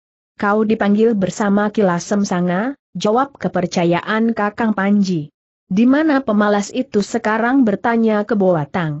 Ia sudah mendahului, jawab kepercayaan Kakang Panji itu, tetapi siapakah yang sebenarnya pemalas? Kau atau Kilasem Sanga atau orang lain? Aku tidak peduli, jawab ke Boatang. Lalu, aku sudah jemu menunggu di sini. Syukurlah, bahwa hari ini aku mendapat lawan. Hampir saja aku pulang ke alas roban. Ada beberapa kawan sedang menunggu aku di sana. Aku mempunyai kepentingan tersendiri di samping kerjasama yang belum aku ketahui pasti, apa keuntunganku kelak, kecuali janji, bahwa tanah tempat aku tinggal, tidak akan diganggu-gugat oleh kerajaan yang bakal berdiri. Kepercayaan orang yang disebut Kakang Panji itu mengerutkan keningnya. Namun kemudian katanya, tentu kau sudah tahu, apa yang akan kau dapatkan kelak. Tetapi itu tidak penting. Sekarang, pergilah ke Medan. Orang yang disebut kebawatang itu pun mengangguk-angguk. Tetapi ia masih bergumam, aku memang akan pergi ke Medan sekarang. Aku akan membunuh Senapati Inggalaga yang telah membuka alas mentaok dan merusak lingkungan hidup kawan-kawanku. Kepercayaan Kakang Panji itu mengumpat di dalam hati. Orang ini pun merasa dirinya mampu membunuh Senapati Inggalaga. Namun ia tidak menghiraukannya. Katanya, cepatlah. Meskipun barangkali kau harus bekerja jauh lebih lama dari yang kau duga. Kebowatang itu tertawa. Katanya, aku akan membunuh lawanku dengan cepat. Perintah ini memang sudah terlambat. Jika sejak semula aku tampil di medan, barangkali pertempuran ini sudah selesai. Kau terlalu besar kepala, kepercayaan Kakang Panji itu tidak dapat menahan bibirnya lagi, kau sangkakah seorang diri dapat menentukan akhir dari pertempuran ini? Aku dapat membunuh Senapati dengan cepat. Jika Senapati Inggalaga itu mati, orang-orangnya tidak akan dapat berbuat apa-apa lagi, jawab Keboatang. Kepercayaan Kakang Panji itu menggeram. Tetapi katanya kemudian, sudahlah berangkatlah. Lawanmu sudah menunggu. Lawanmu adalah seorang yang tua, tetapi memiliki ilmu yang mumpuni. Jadi lawanku kali ini bukan Senapati Inggalaga itu sendiri bertanya ke Boatang. Setelah kau bunuh lawanmu di sayap kanan itu, carilah. Berkata kepercayaan Kakang Panji yang menjadi pening mendengar kata-kata Keboatang. Keboatang tertawa. Kemudian ia pun melangkah mengambil senjatanya. Sebuah bulatan besi agak lebih besar dari kepalan tangan yang tergantung pada seutas rantai baja. Tanpa mengatakan sesuatu lagi maka orang itu pun kemudian keluar dari dapur dan langsung menuju ke medan. Ketika seorang yang berwajah kasar, berjambang lebat melihatnya, maka berlari-lari kecil ia menyusulnya sambil bertanya, Guru, apakah guru akan pergi ke medan? Ya, jawab keboatang. Aku ikut bersama guru sekarang. Aku sudah jemu menunggu di gubuk itu, berkata orang berjambang lebat itu. Di mana kawan-kawanmu bertanya ke Boatang? Ada di rumah itu. Apakah mereka harus juga pergi ke medan bertanya orang berjambang? Keboatang menggeleng. Katanya, tunggu. Kalian akan mendapat perintah khusus. Jumlah kita memang tidak banyak bagi satu pertempuran besar seperti ini. Karena itu, kawan-kawan kita yang hanya lima orang itu tentu tidak terhitung, kecuali aku sendiri, karena aku memiliki kemampuan untuk melawan para senapati dari Mataram. Tetapi orang berwajah kasar berjambang lebat itu berkata, orang-orang padepokan Gunung Kapur sudah mendapat kesempatan turun ke medan. Jumlah mereka cukup banyak, jawab kebawatang, lebih dari 25 orang. Karena itu, mereka mendapat kesempatan pertama. Sementara itu, pemimpin padepokan itu sendiri tidak mempunyai arti yang khusus, sehingga mereka berada di antara para prajurit pajang dalam perang berubuh itu. Tetapi sebagian dari mereka telah ditelan oleh gelar yang mengejutkan dari sayap pasukan Mataram yang dipimpin oleh Untara itu. Orang berwajah kasar dan berjambang lebat itu tidak menjawab. Namun ia mengikuti saja ke Bawatang yang menuju ke Medan. Yang kemudian sudah sampai di Medan adalah Kilasem Sanga. Untuk sesaat ia memperhatikan pertempuran yang terjadi di atas tebing sebelah barat kali opak. Namun pasukan Pajang ternyata tidak dapat mendesak pasukan Mataram lebih jauh. Sejenak kemudian Kilasem Sanga itu pun telah memanjat tebing, ia tertegun ketika seseorang mendekatinya sambil berkata, lawanmu berada agak ke kanan. Siapa kau bertanya Kilasem Sanga? Aku salah seorang pengawal Kakang Panji, jawab orang itu, aku memang mendapat perintah untuk menunggumu. Persetan, geram Kilasem Sanga, di mana orang yang menyebut dirinya Kakang Panji itu sedang bertempur di antara para prajurit, jawab orang itu. Aku mengenal kepercayaannya yang mendapat perintah memanggil aku. Tetapi aku belum mengenalmu, jawab Kilasem Sanga. Orang itu pun kemudian berkata, dengar perintahku. Atas nama kuningnya cahaya lintang johar. Nah, pergilah sedikit ke kanan kau akan bertemu dengan orang yang disebut, orang bercambuk. Anak sangkal putung itu sedang bertempur. Kau dengar ledakan cambuknya. Kau harus melawan gurunya, jawab orang itu. Lawanku Senapati Inggalaga. Tetapi sebelumnya, aku tidak berkeberatan untuk membunuh orang bercambuk itu. Apakah yang kau maksud guru dari anak Sangkal Putun dan Agung Siedayu bertanya Kilasem Sanga. Ya, Kiai Gringsing, jawab orang itu. Kilasem Sanga melangkah menuju ke garis pertempuran meninggalkan orang yang menemuinya itu. Di wajahnya sama sekali tidak menunjukkan kesan apa pun juga. Seolah-olah ia tidak sedang berjalan ke medan perang yang gawat, yang dibayangi oleh maut yang setiap saat dapat menerkamnya. Dalam hiruk pikuk pertempuran, yang sekali-sekali terdengar hentakan teriakan dan sorak yang gemuruh, Kilasem Sanga memasuki arna pertempuran. Namun ia masih sempat berpikir, apakah Senapati Inggalaga tidak berada di sayap ini? Dalam pada itu, Ki Tumenggung Prabadaru masih bertempur dengan garangnya, Sementara Ki Lurah Beranjangan seolah-olah tidak mampu lagi untuk menahannya. Bersama beberapa orang Ki Lurah Beranjangan masih tetap mengalami kesulitan. Bahkan beberapa orang itu pun telah berganti dengan orang-orang baru apabila yang terdahulu telah terkapar tidak bernyawa lagi atau terluka parah dan tidak mungkin untuk bangkit dan melawan amukan senjata Kitu Menggung yang menggetarkan itu. Dalam keadaan yang demikian, maka Ki Lurah Beranjangan pun merasa bahwa kemampuannya memang belum mendekati kemampuan Kitu Menggung Prabadaru, sehingga jika pasukan khusus dari Mataram itu mampu mengimbangi pasukan khusus dari Pajang, maka kemampuan pasukan itu sebagian terbesar tentu bukan dari dirinya. Namun demikian adalah orang yang mengatur dan menentukan langkah-langkah bagi perkembangan kemampuan pasukan khusus itu. Namun dalam pada itu, di medan yang gawat, Ki Lurah merasa dirinya menjadi terlalu kecil berhadapan dengan Kitu Menggung Prabadaru, sehingga beberapa orang dari antara pasukannya telah menjadi korban. Kemarahan Ki Lurah Beranjangan yang tidak tertahankan lagi telah membuatnya tidak menghiraukan lagi dirinya sendiri.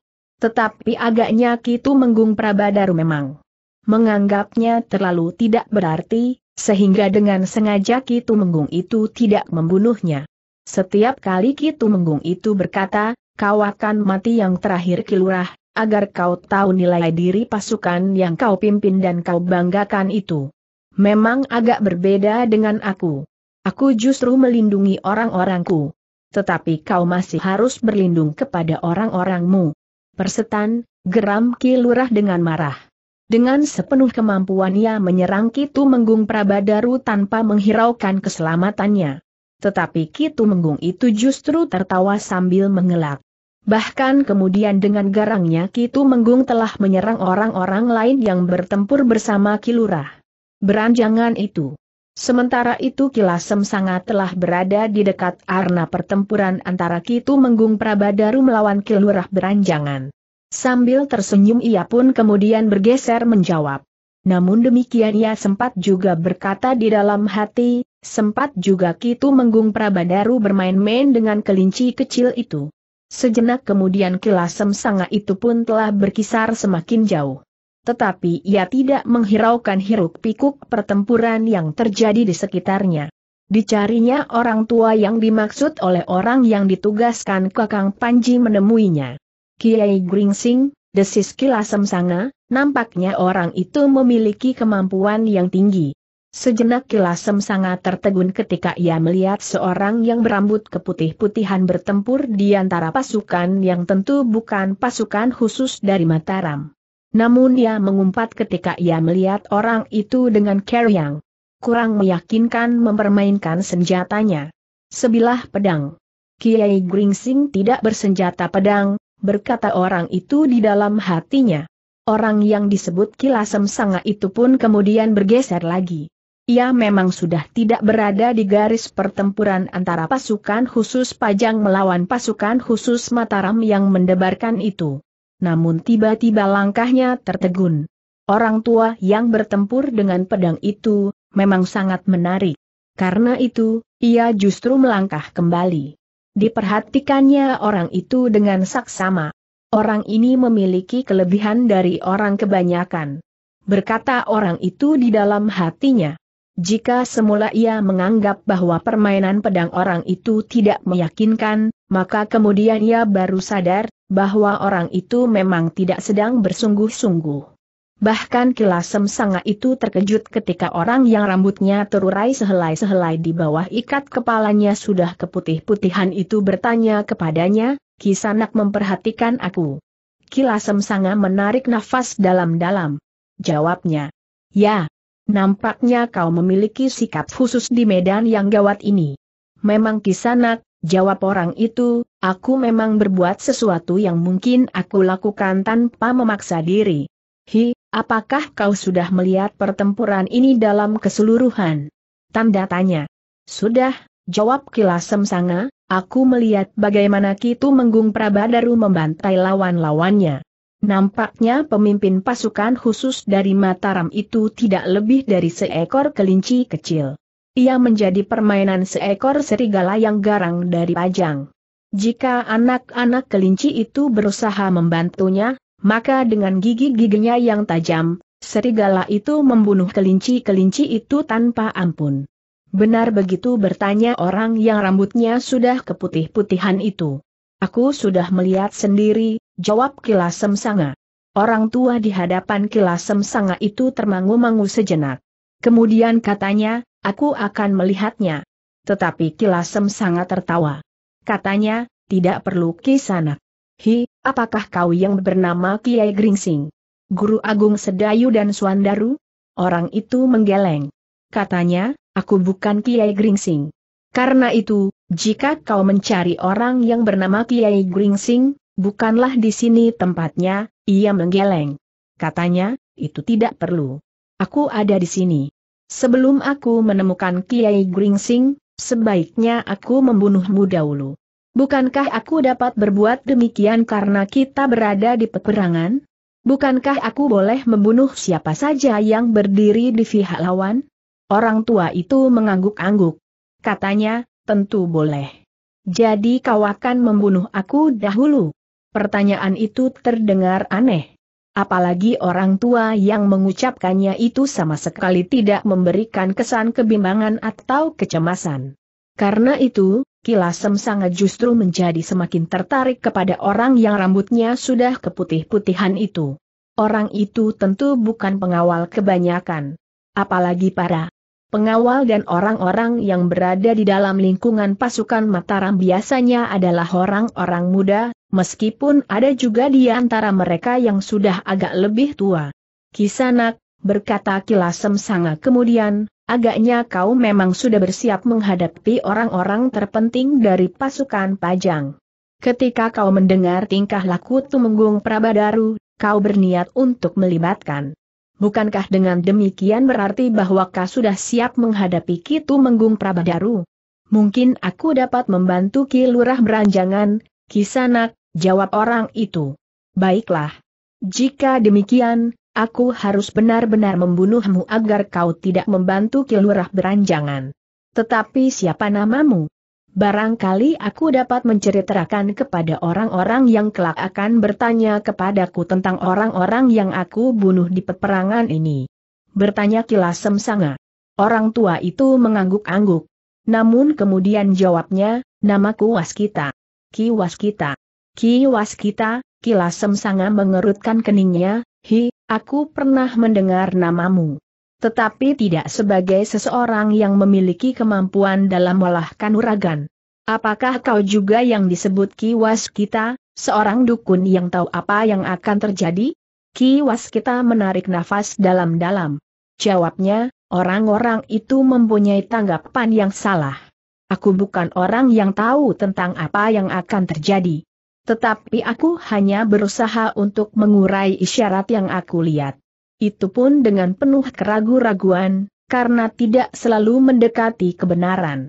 Nampaknya kau orang yang senang merendahkan dirimu. Tetapi baiklah. Jika kali ini kau hadir dalam dunia kekerasan, maka adalah salahmu jika kau akan mati. Coba, lihatlah dalam isyarat, apakah kau akan mati hari ini bertanya Kilasem Sanga. Ternyata aku tidak dapat menemukan isyarat tentang hari kematianku, jawab Kiwas kita, tetapi siapakah kau yang pernah mendengar namaku? Aku memang petualang di dunia kanuragan. Aku adalah Kilasem Sanga. Mungkin kau pernah mendengar namaku. Tetapi apa boleh buat, aku memang harus membunuhmu sebelum aku membunuh Kiai Gringsing, jawab Kilasem Sanga pula. Kiwas kita menarik nafas dalam-dalam. Ia pernah mendengar nama itu. Tetapi ia lupa, dari mana asal orang yang disebut Kilasem Sanga. Tetapi Kiwas kita tidak bertanya lebih lanjut. Orang itu sudah mulai merundukkan senjatanya, sehingga Kiwas kita pun harus bersiap-siap menghadapi setiap kemungkinan. Namun karena di tangannya sudah tergenggam sebilah pedang, maka ia pun telah mempersiapkan pedangnya untuk melawan senjata Kilasem Sanga yang mendebarkan itu. Bersiaplah kisanak, desis kilasem sanga, jika kau belum mengenal senjata seperti ini, barangkali ada baiknya aku memberitahukan, bahwa senjata ini dapat aku pergunakan untuk menusuk, tetapi juga untuk menebas. Jika aku berhasil menyentuh lehermu dalam ayunan yang keras, maka lehermu akan terpotong dalam sekali tebas. Oh, Ki Waskita mengangguk-angguk, mengerikan sekali. Namun kesan di wajah Ki Waskita sama sekali tidak seperti kata-kata yang diucapkan. Orang tua itu sama sekali tidak menjadi cemas, apalagi merasa ngeri melihat senjata itu. Gila, geram Kilasem Sanga.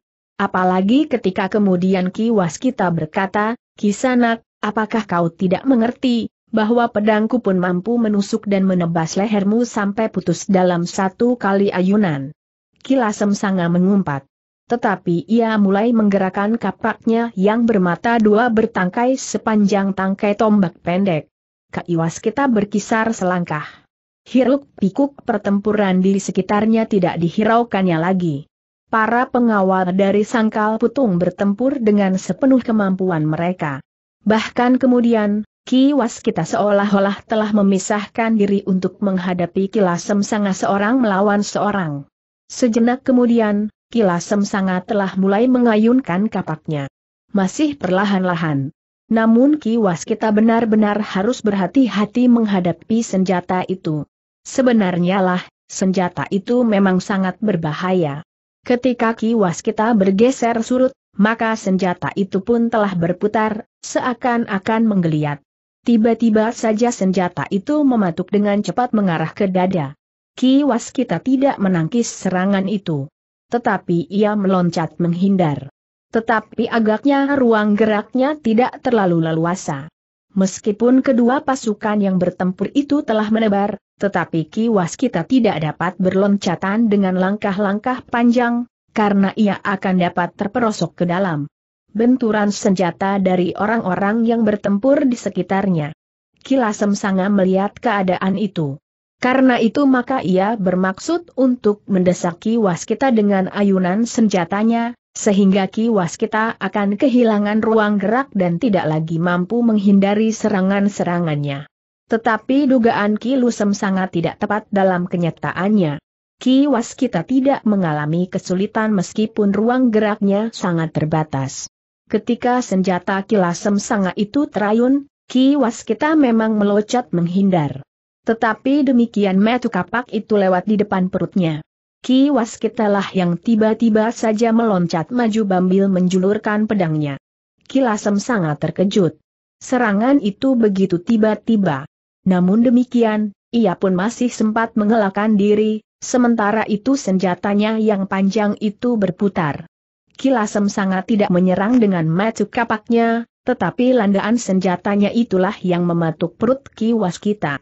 Dalam pada itu, agaknya orang-orang Pajang dan orang-orang Mataram dapat melihat bahwa yang akan bertempur itu adalah orang-orang yang memiliki kelebihan dari prajurit dan pengawal kebanyakan.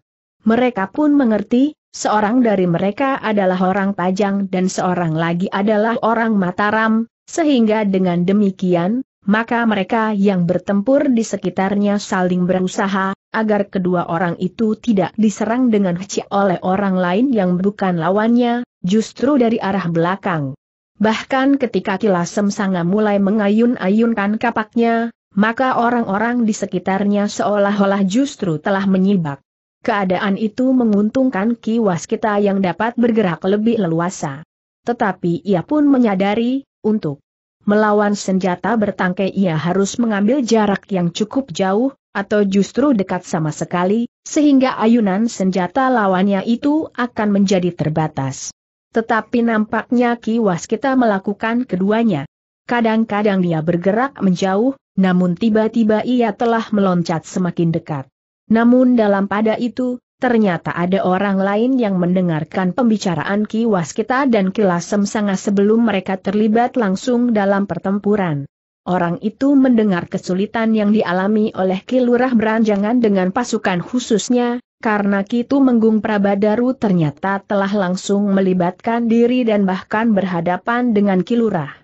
Demikian orang itu mendengar kesulitan itu, bahkan menurut orang bersenjata kapak bermata dua itu, Ki Lurah tidak lebih dari seekor kelinci di hadapan seekor serigala yang garang, maka ia pun langsung meninggalkan tempatnya, menyusup di antara pertempuran itu menuju ke tempat Ki Lurah dan pasukan khususnya, di sebelah. Kenapa aku telah meninggalkannya, desis orang itu. Lalu, mudah-mudahan aku tidak terlambat. Dengan menyebabkan senjata yang berbenturan maka orang itu telah menyusup dengan tergesa-gesa, meskipun ia tetap berhati-hati. Namun dalam pada itu, dua orang lagi telah memasuki arna. Seperti saat kilasem sanga memanjat tebing, maka kedua orang itu pun telah ditemui oleh seseorang yang tidak dikenalnya. Kilasem sanga telah salah memilih lawan, berkata orang itu kepada kebawatang dengan seorang muridnya yang baru. Memasuki arna itu, tetapi tidak banyak bedanya. Seharusnya kau akan berhadapan dengan kiwas kita. Tetapi kiwas kita sudah bertempur melawan kilasem sanga. Jadi, aku harus berhadapan dengan senapati Inggalaga itu sendiri bertanya ke Boatang. Tidak. Ada orang lain yang harus diselesaikan. Kiai Gringsing, berkata orang yang belum dikenal itu. Kebobatang mengerutkan keningnya. Kemudian ia pun bertanya, tunjukkan aku orangnya, supaya aku tidak salah menghadapi lawan seperti pemalas itu. Ia tentu memilih orang yang tidak memiliki ilmu kanuragan, agar orang lain menyebutnya, sebagai seorang pahlawan yang berhasil membunuh lawannya di peperangan. Aku tidak mempersoalkan kilasem sanga. Jika kau ingin melihat lawannya, marilah. Aku akan menunjukkannya, jawab orang itu. Kebowatang menggeram. Katanya, baiklah. Siapa pun lawanku, aku akan membuktikan, bahwa aku akan dapat menyelesaikan pekerjaan ini dengan baik, sehingga orang-orang pajang akan mengerti, bahwa kebowatang tidak akan dapat dipermainkan. Kemenangan pajang dalam pertempuran ini, berarti satu tanggung jawab yang besar, karena orang-orang pajang harus memenuhi janjinya. Jangan bimbang, Jawab orang yang menemuinya itu. Lalu, tetapi siapa kawanmu itu? Muridku, jawab kebawatang, ia sudah menyadap ilmuku sampai tuntas, meskipun masih diperlukan pengalaman untuk mengembangkannya. Tetapi ia pantas untuk bertempur melawan siapa saja. Baiklah, biarlah ia memilih lawan, berkata orang itu, di medan pertempuran yang seru ini, ia tidak akan kekurangan lawan. Kebowatang berpaling kepada muridnya sambil berkata, kesempatan bagimu untuk menunjukkan bahwa kau memiliki banyak kelebihan dari orang-orang yang disebut pasukan khusus itu. Murid kebowatang itu mengangguk-angguk. Katanya, baik guru. Aku akan berada di antara mereka. Kau harus memakai ciri pasukan pajang. Kau lihat, bahwa mereka memakai tanda pengenal. Apalagi kau seorang diri berkata orang yang menemui mereka di tebing. Aku tidak memakai tanda pengenal, berkata keboatang. Tetapi kau memiliki kekhususan. Orang-orang pajang sudah mengenalmu, seperti mereka mengenal kilasem sanga. Atau setidak-tidaknya penampilanmu akan memberikan keyakinan itu, jawab orang itu. Muridku juga akan menunjukkan kelebihannya. Ia akan segera diakui sebagai salah satu kekuatan yang sangat diperlukan pajang seperti aku sendiri, jawab keboatang. Tetapi sebaiknya ia mempergunakan tanda itu, selain pengenalan atas sebutan sandi, berkata orang itu. Keboatang memberi isyarat kepada muridnya, agar ia memakai saja tanda yang diberikan oleh orang itu kepadanya sehelai kain hitam yang dilingkarkan pada pinggang mereka, sebagaimana mengenakan ikat pinggang. Namun mereka yang ada di dalam satu pasukan, tidak memerlukannya, berkata orang-orang yang menemuinya di tebing itu. Mereka sudah saling mengenal, dan pakaian mereka memberikan ciri tersendiri. Murid kebawatang itu tidak menjawab. Sambil mengenakan tanda itu pada pinggangnya, maka ia pun melangkah memasuki arna. Guru, aku sudah siap, katanya. Pergilah. Aku akan mencari lawanku sendiri, jawab keboatang. Demikianlah, maka keboatang itu pun kemudian mengikuti orang yang menemuinya di tebing, dan membawanya memasuki daerah pertempuran untuk mempertemukannya dengan Kiai Gringsing. Keboatang memang tidak banyak menaruh perhatian terhadap pertempuran itu sendiri. Ia memang ingin segera bertemu dengan lawan yang disebut oleh orang yang menemaninya di tebing. Beberapa saat kemudian, maka orang yang membawa ke Bewatang itu pun berhenti. Dengan isyarat ia menunjuk seorang tua yang sedang bertempur di antara orang-orang Mataram. orang itulah yang disebut Kiai Gringsing, berkata orang yang mengajak ke Boatang. Keboatang mengangguk-angguk. Tetapi ia berdesis. Orang yang disebut Kakang Panji itu agaknya sengaja telah menghinaku, kenapa bertanya orang yang menunjukkannya? Apakah ia menilai aku setingkat dengan orang itu? Orang yang pikun dan tidak berarti sama sekali. Tanda tanya bertanya ke Boatang. Jangan berkata begitu, jawab orang yang menunjukkannya, cobalah menjajagi ilmunya. Ia memiliki senjata yang aneh. Apa bertanya ke Boatang? Cambuk, jawab orang itu. Keboatang mengerutkan keningnya. Nampaknya orang tua itu masih belum menganggap perlu untuk mempergunakan senjatanya, sehingga karena itu, maka ia mempergunakan senjata yang lain sekali dengan yang disebutkan oleh orang yang menunjukkannya. Orang tua itu mempergunakan sebatang tombak pendek untuk melayani lawan-lawannya. Keboatang mengangguk-angguk. Dengan demikian ia memang dapat menilai, bahwa orang tua itu tentu mempunyai kemampuan yang dapat mengatasi lawan-lawannya, karena ia masih belum mempergunakan cambuknya. Jika ia mulai mengalami kesulitan, maka ia tidak akan mempergunakan senjata lain kecuali senjata yang paling dipercayanya. Nah, bagaimana tanggapanmu bertanya orang yang membawa kebawatang itu ke Arna? Jika tugas itu yang diberikan kepadaku, akan aku lakukan dengan sebaik-baiknya. Tetapi jika aku sudah membunuh orang tua itu, sementara matahari masih belum turun ke barat, maka aku terpaksa membunuh terlalu banyak orang, berkata Keboatang. Kau berada di peperangan, jawab orang yang mengatakannya, semua lawanmu dapat kau bunuh jika kau mampu. Ya, Mudah-mudahan aku bertemu dan mendapat kesempatan untuk membunuh Senapati Ingalaga, berkata Keboatang. Apa untungmu bertanya orang yang mengantarnya? Orang itu mengerutkan keningnya. Kemudian katanya, kau memang tidak tahu, atau pura-pura tidak tahu orang yang mengantar Keboatang itu termangu-mangu. Namun kemudian jawabnya, aku memang tidak tahu. Baiklah, berkata Keboatang, Ternyata kau adalah orang yang paling dungu yang pernah aku kenal. Membunuh Senapati Inggalaga mempunyai arti tersendiri. Senapati Inggalaga sampai sekarang dianggap orang yang memiliki ilmu paling tinggi. Jika kau berhasil membunuhnya, maka semua orang akan mengetahui, siapakah yang memiliki ilmu tertinggi di antara orang-orang Pajang. Dan kau tentu tahu, arti dari peristiwa itu. Orang yang mengantarnya itu menarik nafas dalam-dalam. Tetapi katanya kemudian, silahkan. Jangan menunggu terlalu lama. Kebobatang memandang hiruk pikuk pertempuran sejenak. Kemudian ia pun melangkah memasuki arna, langsung mendekati seorang tua yang sedang bertempur dalam batas benturan antara pasukan Pajang dan Mataram. Dengan suara yang dalam orang itu bertanya langsung kepada orang yang disebut Kiai Gringsing itu, kau yang bernama Kiai Gringsing? Kiai Gringsing bergeser surut. Tetapi ia masih harus menghindari beberapa langkah, ketika lawannya memburunya.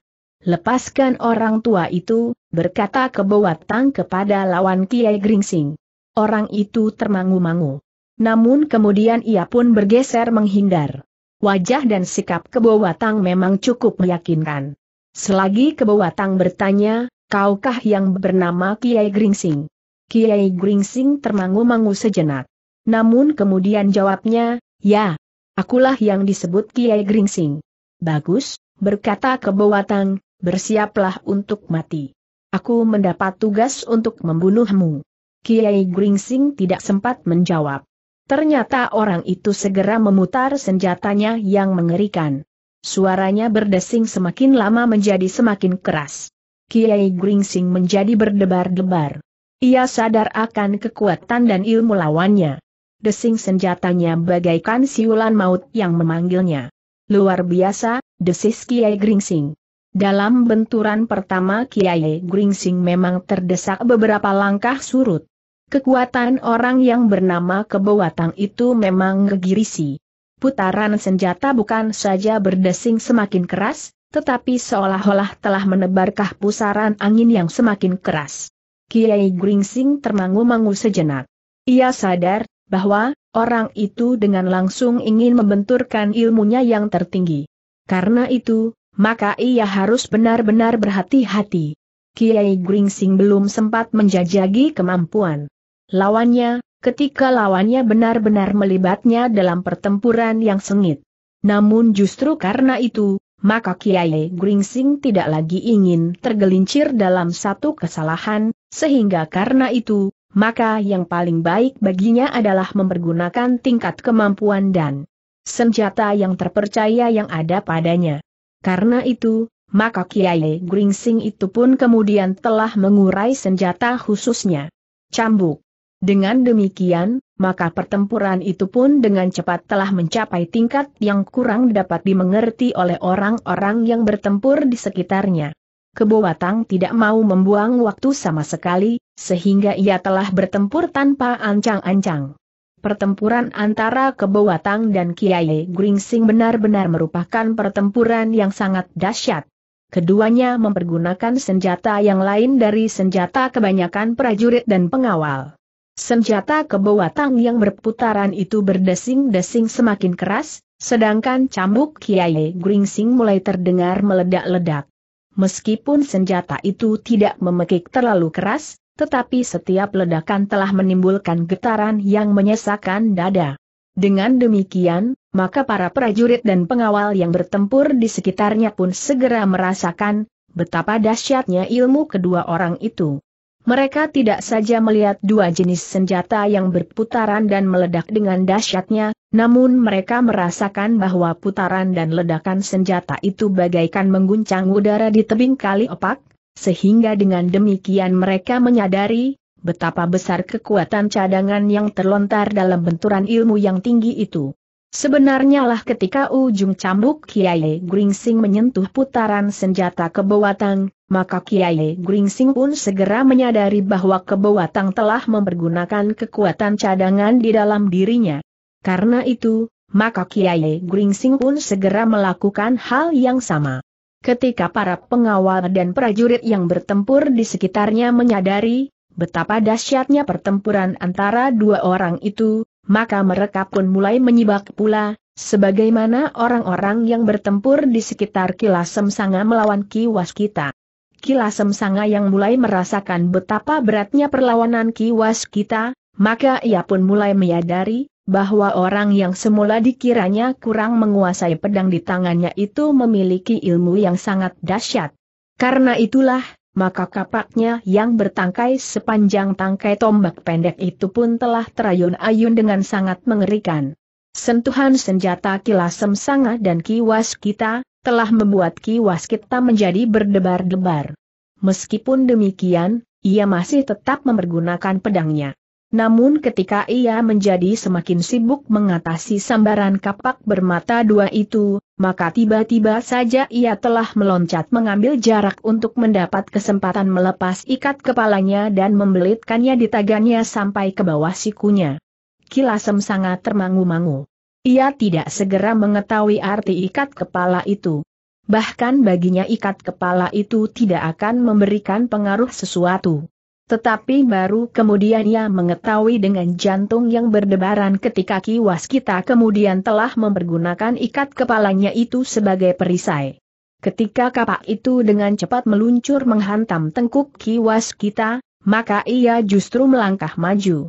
Dengan tangannya yang dililiti ikat kepalanya, ia menangkis senjata lawannya pada landaannya.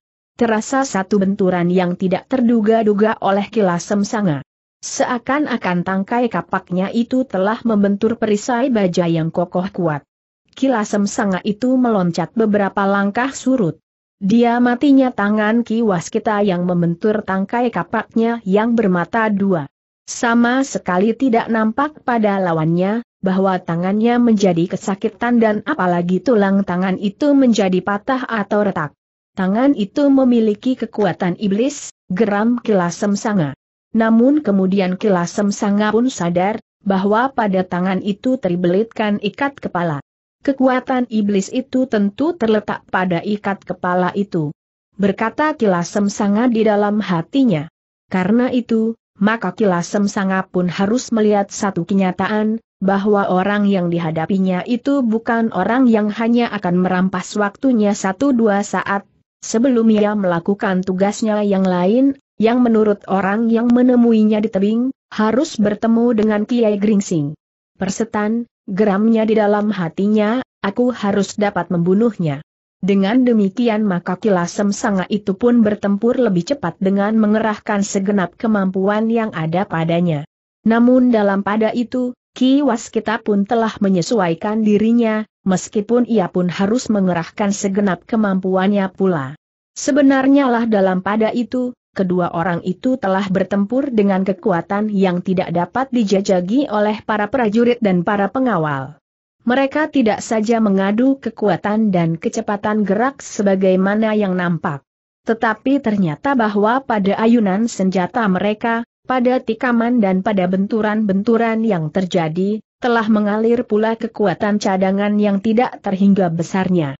Dalam pada itu, selagi pertempuran di Kali Opak itu berlangsung dengan dahsyatnya, maka pemimpin pasukan khusus dari Mataram benar-benar telah mengalami kesulitan kecemasan telah terjadi di antara pasukan khusus itu. Mereka melihat, pemimpin mereka tidak dapat mengimbangi ilmu dari Kitu Menggung Prabadaru, pemimpin pasukan khusus dari Pajang. Setiap kali, Ki Lurah Beranjangan harus berloncatan menjauhi lawannya, sementara tiga atau empat orang berusaha untuk mencegah Kitu Menggung memburunya. Namun dalam pada itu, pasukan Pajang pun tidak membiarkan hal seperti itu selalu terjadi mereka pun berusaha untuk tidak memberi kesempatan kepada orang-orang Mataram untuk membantu Kilurah beranjangan. Pada saat-saat yang mendebarkan itu, rasa-rasanya pasukan khusus Mataram tidak akan mampu lagi untuk bertahan sampai senja turun. Jika Kilurah beranjangan berhasil dibinasakan, maka Kitu Menggung Prabadaru tentu akan menjadi semakin garang. Bahkan seluruh pasukannya akan menjadi semakin garang pula. Hari ini kita hancurkan pasukan khusus Mataram sampai lumat. Kita pecahkan pertahanan pasukan Mataram dan kita koyak sayap ini sebelum kita hancurkan seluruh pertahanan di tebing kali opak ini, teriak Kitu Menggung Prabadaru lantang. Suara Kitu Menggung Prabadaru itu memang berpengaruh. Orang-orang pajang yang mendengar teriakan itu, seolah-olah telah mendapatkan kekuatan baru untuk mematahkan perlawanan orang-orang Mataram. Sementara itu, masih terdengar teriakan Kitu Menggung. Kekuatan pokok Mataram bertumpu kepada pasukan khususnya ini. Sedangkan sebelum matahari turun di sisi barat, pasukan ini sudah akan kita hancurkan. Besok tebing ini sudah kita bersihkan dari sisa-sisa pasukan Mataram yang akan berlari bercerai-berai malam nanti. Di hari berikutnya kita akan menyusul pasukan Mataram yang akan bertahan di belakang dinding kotanya. Hari itu juga Mataram akan menjadi karang abang. Terdengar sorak gemuruh. Pasukan khusus Pajang yang merasa mendapat kesempatan lebih baik dari pasukan khusus dari Mataram karena tingkat kemampuan pemimpinnya, justru menjadi lebih keras menekan lawannya. Sementara itu, keadaan Ki Lurah Beranjangan memang menjadi semakin sulit. Jika semula Kitu Menggung Prabadaru dengan sengaja membiarkan Ki Lurah melihat kekalahan demi kekalahan yang dideritanya, bukan saja dirinya sendiri, tetapi juga pasukan khususnya, maka Kitu Menggung itu sudah mulai menjadi jemu. Aku sudah cukup lama memberimu kesempatan menikmati kekalahanmu. Kau harus mengakui, sesuai dengan kenyataan yang kau hadapi, bahwa kau dan Mataram bukan apa-apa bagi kami, berkata Kitu Menggung Prabadaru. Kilurah beranjangan menggeretakan giginya. Tetapi sebenarnya lah ia tidak dapat ingkar dari satu kenyataan yang dihadapinya. Meskipun demikian, Kilurah adalah seorang prajurit. Apa pun yang terjadi, ia tidak bergeser dari tugas yang dibebankan kepadanya. Namun dalam pada itu, ketika Kilurah beranjangan benar-benar dalam keadaan yang paling gawat, seseorang telah mendekati arna pertempuran di antara kedua pemimpin pasukan khusus itu. Sejenak orang itu termangu-mangu. Namun kemudian dengan hati-hati ia bergeser semakin dekat. Sambil berkata, Kilurah. Biarlah aku menghadapi pemimpin pasukan khusus dari Pajang ini. Kilurah yang terdesak justru meloncat semakin jauh, Sementara suara itu memang sangat menarik perhatian Kitu Menggung Prabadaru sehingga langkah Kitu Menggung menjadi terhambat. Namun demikian Kitu Menggung berpaling, maka jantungnya seakan-akan menjadi semakin cepat berdetak. Orang itu adalah Agung Sedayu. Agung Sedayu, terdengar Ki Lurah berdesis. Ya Ki Lurah. Nampaknya Ki Lurah diperlukan oleh seluruh pasukan. Biar aku saja yang melayani Kitu Menggung Prabadaru, sahut Agung Sedayu. Ada sesuatu bergejolak di dalam hati Kilurah. Rasa-rasanya ia tidak akan beranjak dari tempat itu sampai kemungkinan yang penghabisan. Meskipun ia akan dapat kembali pulang hanya namanya saja, karena tubuhnya akan terkapar di tanah yang sudah basah oleh darah itu. Tetapi Agung Sedayu yang agaknya mengetahui perasaan yang bergolak di dalam dada Kilurah itu pun berkata, Kilurah. Ada kewajiban yang lebih besar yang harus mendapat perhatian dari Kilurah daripada pertempuran ini. Kilurah menarik nafas dalam-dalam. Ia memang melihat satu persoalan yang besar yang dihadapinya di samping harga dirinya sebagai seorang senapati. Ia memang dapat memilih. Bertempur sampai mati sebagai seorang prajurit, atau mempergunakan kesempatan yang terbuka itu untuk mengatasi kesulitan bagi seluruh pasukan khususnya. Pasukan yang diharapkan oleh Mataram untuk menjadi landasan kekuatan pokok yang akan dapat mengimbangi pasukan khusus yang sudah disiapkan oleh Pajang. Dalam keragu-raguan itu terdengar suara Kitu Menggung Prabadaru, Kilurah beranjangan. Selain seorang senapati besar dari satu pasukan khusus dari Mataram, kau pernah juga menjadi salah seorang senapati prajurit pajang. Adalah bukan kebiasaan seorang prajurit untuk meninggalkan lawannya di medan peperangan. Perasaan kelurah memang tersentuh. Rasa-rasanya ia memang ingin bertempur sampai mati. Namun dalam pada itu Agung Sedayu berkata, kita berada di medan perang. Lawan kita berpencar dari ujung sayap yang satu sampai ke ujung sayap yang lain. Sebelum kau bertempur melawan Ki Lurah Beranjangan, kau tentu sudah mempunyai lawan. Dan sekarang, aku pun telah meninggalkan lawanku untuk menemukan lawan yang lain, sementara Ki Lurah akan meninggalkan lawannya untuk satu rangkaian kewajiban yang lebih penting. Perang di medan ini isinya bukan hanya Kitu Menggung Prabadaru dan Ki Lurah Beranjangan tanpa pengaruh lain kau pun tentu akan meninggalkan lawanmu dalam keadaan tertentu, sebagaimana saat kau hadir berhadapan dengan kelurah beranjangan. Tutup mulutmu anak setan, geram Kitu Menggung Prabadaru, jika kau ingin bertempur berdua, aku akan membunuh kalian bersama-sama. Aku akan melawanmu sendiri Kitu Menggung, meskipun aku tidak dapat membayangkan, bagaimana akhir dari pertempuran ini, jawab Agung Sedayu. Ki Tu Menggung menggeram. Tetapi ia tidak melupakan satu kenyataan bahwa Agung Sedayu pernah membunuh Ajar Talpitu, orang yang memiliki ilmu yang dahsyat dengan kedua wujud sebagaimana dirinya sendiri. Juga telah membunuh orang yang disebut Ki Mahoni. Orang yang memiliki kekuatan prahara yang gegirisi. Selagi Kitu Menggung merenung sejenak. Agung Sedayu itu pun berkata kepada Kilurah, silahkan Kilurah. Jangan hiraukan lagi orang ini. Kilurah beranjangan pun ragu-ragu untuk sesaat. Tetapi ketika ia melihat kesulitan pada pasukan khususnya, maka ia pun kemudian berkata, lakukanlah. Mungkin perubahan ini akan memberikan manfaat bagi pasukan kita dalam keseluruhan. Agung Sedayu mengangguk kecil. Sambil melangkah maju ia berkata, terima kasih atas kesempatan ini. Silahkan Ki Lurah menangani persoalan yang lebih besar. Kau tidak usah bermain dengan istilah-istilah yang tidak berarti itu.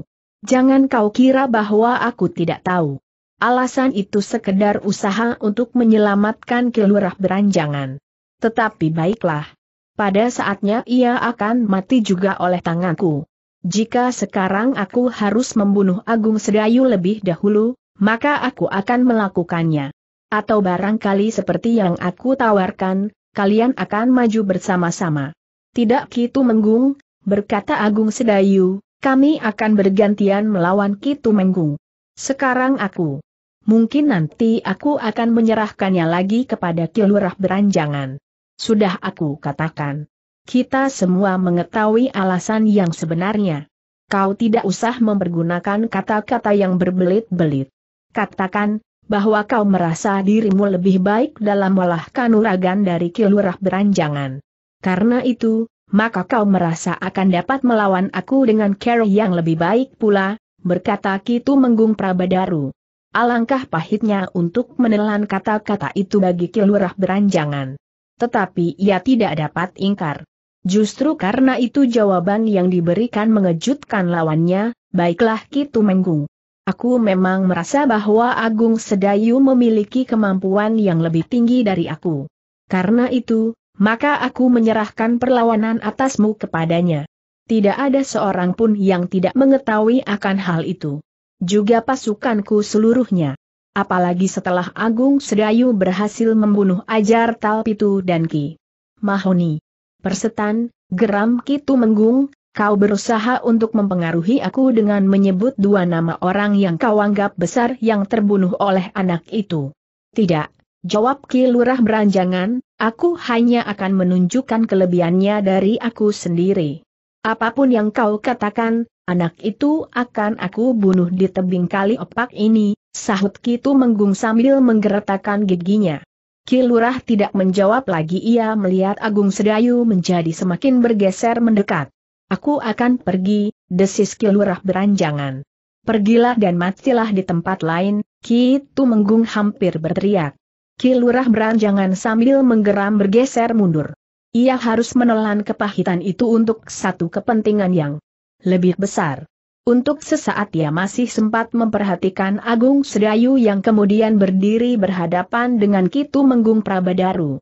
Namun sesaat kemudian Ki Lurah itu pun segera menenggelamkan diri di antara pasukan khususnya meskipun terasa jantungnya masih tergerak oleh harga dirinya yang telah dikorbankan. Dengan penuh curiga ia sekali-sekali memandangi orang-orangnya yang mungkin akan menganggapnya terlalu licik sehingga ia telah menyerahkan lawan yang tidak dapat dikalahkannya kepada orang lain. Tetapi agaknya orang-orangnya sama sekali tidak menghiraukannya.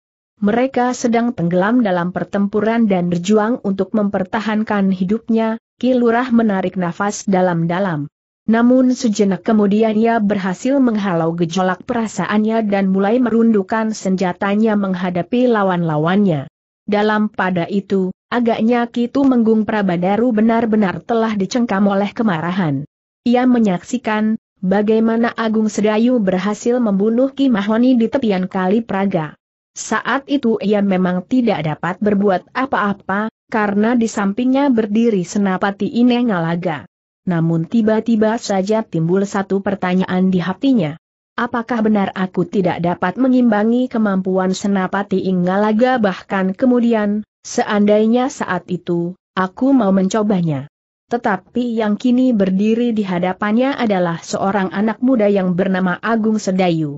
Namun dalam pada itu gelora di dalam dada Kitu Menggung Prabadaru bagaikan tidak terbendung lagi.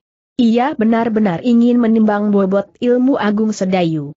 Karena itu, maka adalah di luar dugaan, bahwa Kitu Menggung itu pun kemudian menyarungkan senjatanya sambil berkata, Agung Sedayu, kau adalah seorang anak muda yang luar biasa.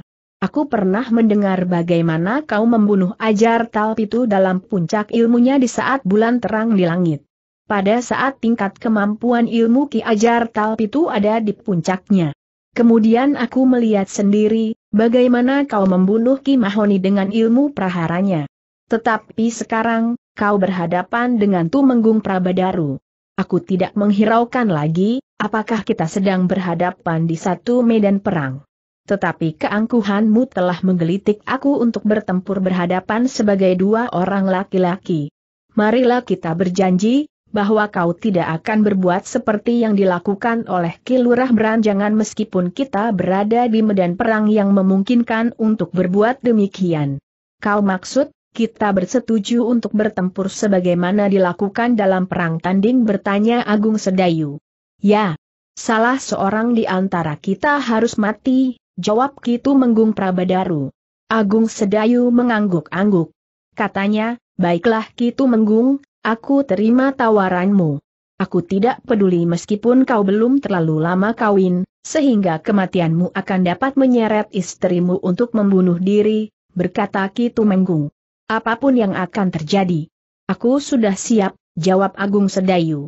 Ki Tumenggung Prabadaru memandang Agung Sedayu dengan tajamnya. Namun terasa jantungnya berdebaran. Tatapan mata Agung Sedayu bagaikan memancarkan kekuatan yang menggetarkan dadanya. Metu itu, berkata Kitu Menggung di dalam hatinya. Lalu katanya kepada dirinya sendiri, Metu itu tidak boleh mendapat kesempatan untuk berbuat sesuatu. Demikianlah Kitu Menggung Prabadaru, benar-benar telah melupakan pertempuran itu dalam keseluruhan. Seolah-olah ia berdiri seorang diri di satu medan perang tanding menghadapi Agung Sedayu. Dengan nada datar ia pun kemudian berkata, bersiaplah. Aku sudah tidak sabar lagi. Tetapi jawab Agung Sedayu, aku sudah siap sejak aku mendekati tempat ini. Persetan, geram Kitu Menggung Prabadaru. Agung Sedayu tidak menjawab. Tetapi ia benar-benar telah bersiap. Agung Sedayu sadar, bahwa Kitu Menggung benar-benar ingin beradu ilmu. Bukan saja sebagai senapati dalam peperangan, tetapi sebagai dua orang laki-laki yang memiliki ilmu kanuragan. Apalagi justru karena Tumengung Prabadaru ternyata tidak akan mempergunakan senjatanya. Bagi Agung Sedayu, hal itu adalah satu pertanda bahwa Tumenggung Prabadaru merasa bahwa ilmunya memiliki kemampuan yang tidak kalah dengan ujung senjatanya. Bahkan Agung Sedayu itu berkata di dalam hatinya, Mungkin ia memiliki satu kemampuan menyerang dari jarak jauh sebagaimana aku dapat mempergunakan sorot mataku. Namun agaknya Kitu Menggung tidak ingin langsung mempergunakan ilmunya yang tertinggi. Agaknya ia benar-benar ingin mengetahui dengan lengkap tingkat kemampuan anak muda yang telah berhasil membunuh orang-orang yang memiliki nama yang menggetarkan. Karena itu, maka Kitu Menggung itu pun kemudian meloncat menyerang Agung Sedayu dengan kemampuan wadaknya yang sewajarnya. Tangannya terjulur berbareng dengan loncatan kakinya. Agung Sedayu melihat sikap lawannya. Karena itu, maka ia pun tidak ingin tergesa-gesa. Namun demikian, ia sadar, bahwa Kitu Menggung Prabadaru adalah orang yang mumpuni. Ia adalah seorang senapati besar yang mendapat kehormatan untuk memimpin satu kesatuan khusus dari Pajang dalam kedudukan yang agak berbeda dengan Kilurah Beranjangan. Karena Kilurah Beranjangan selain kedudukan itu bukan semata-mata karena kemampuan ilmunya, maka ia sebenarnya tidak lebih dari seorang yang memiliki kemampuan mengatur kesatuan khusus yang dipimpinnya. Karena itu, maka agar Agung Sedayu tidak terjebak dalam satu kesalahan menghadapi Kitu Menggung Prabadaru yang belum diketahuinya dengan pasti tingkat kemampuannya, ia pun telah mulai mengeterapkan ilmu kebalnya. Dengan demikian jika terjadi satu benturan yang tidak diduganya, atau karena Agung Sedayu salah hitung, ia tidak akan mengalami kesulitan yang parah dan menentukan. Sejenak kemudian, maka Agung Sedayu dan Kitu Menggung Prabadaru itu pun telah mulai dengan satu pertempuran yang mendebarkan. Keduanya adalah orang-orang yang memiliki kemampuan yang jarang ada bandingnya. Tetapi pertempuran itu dimulai dengan gerak dan langkah-langkah yang kurang berarti. Gerak dan langkah yang bagaikan sekedar untuk memanaskan tubuh mereka. Seperti yang mereka lakukan menghadapi latihan-latihan olah kanuragan. Namun pemanasan itu meningkat semakin lama menjadi semakin bersungguh-sungguh. Seperti nyala api yang tertiup angin. Semakin lama menjadi semakin berkobar.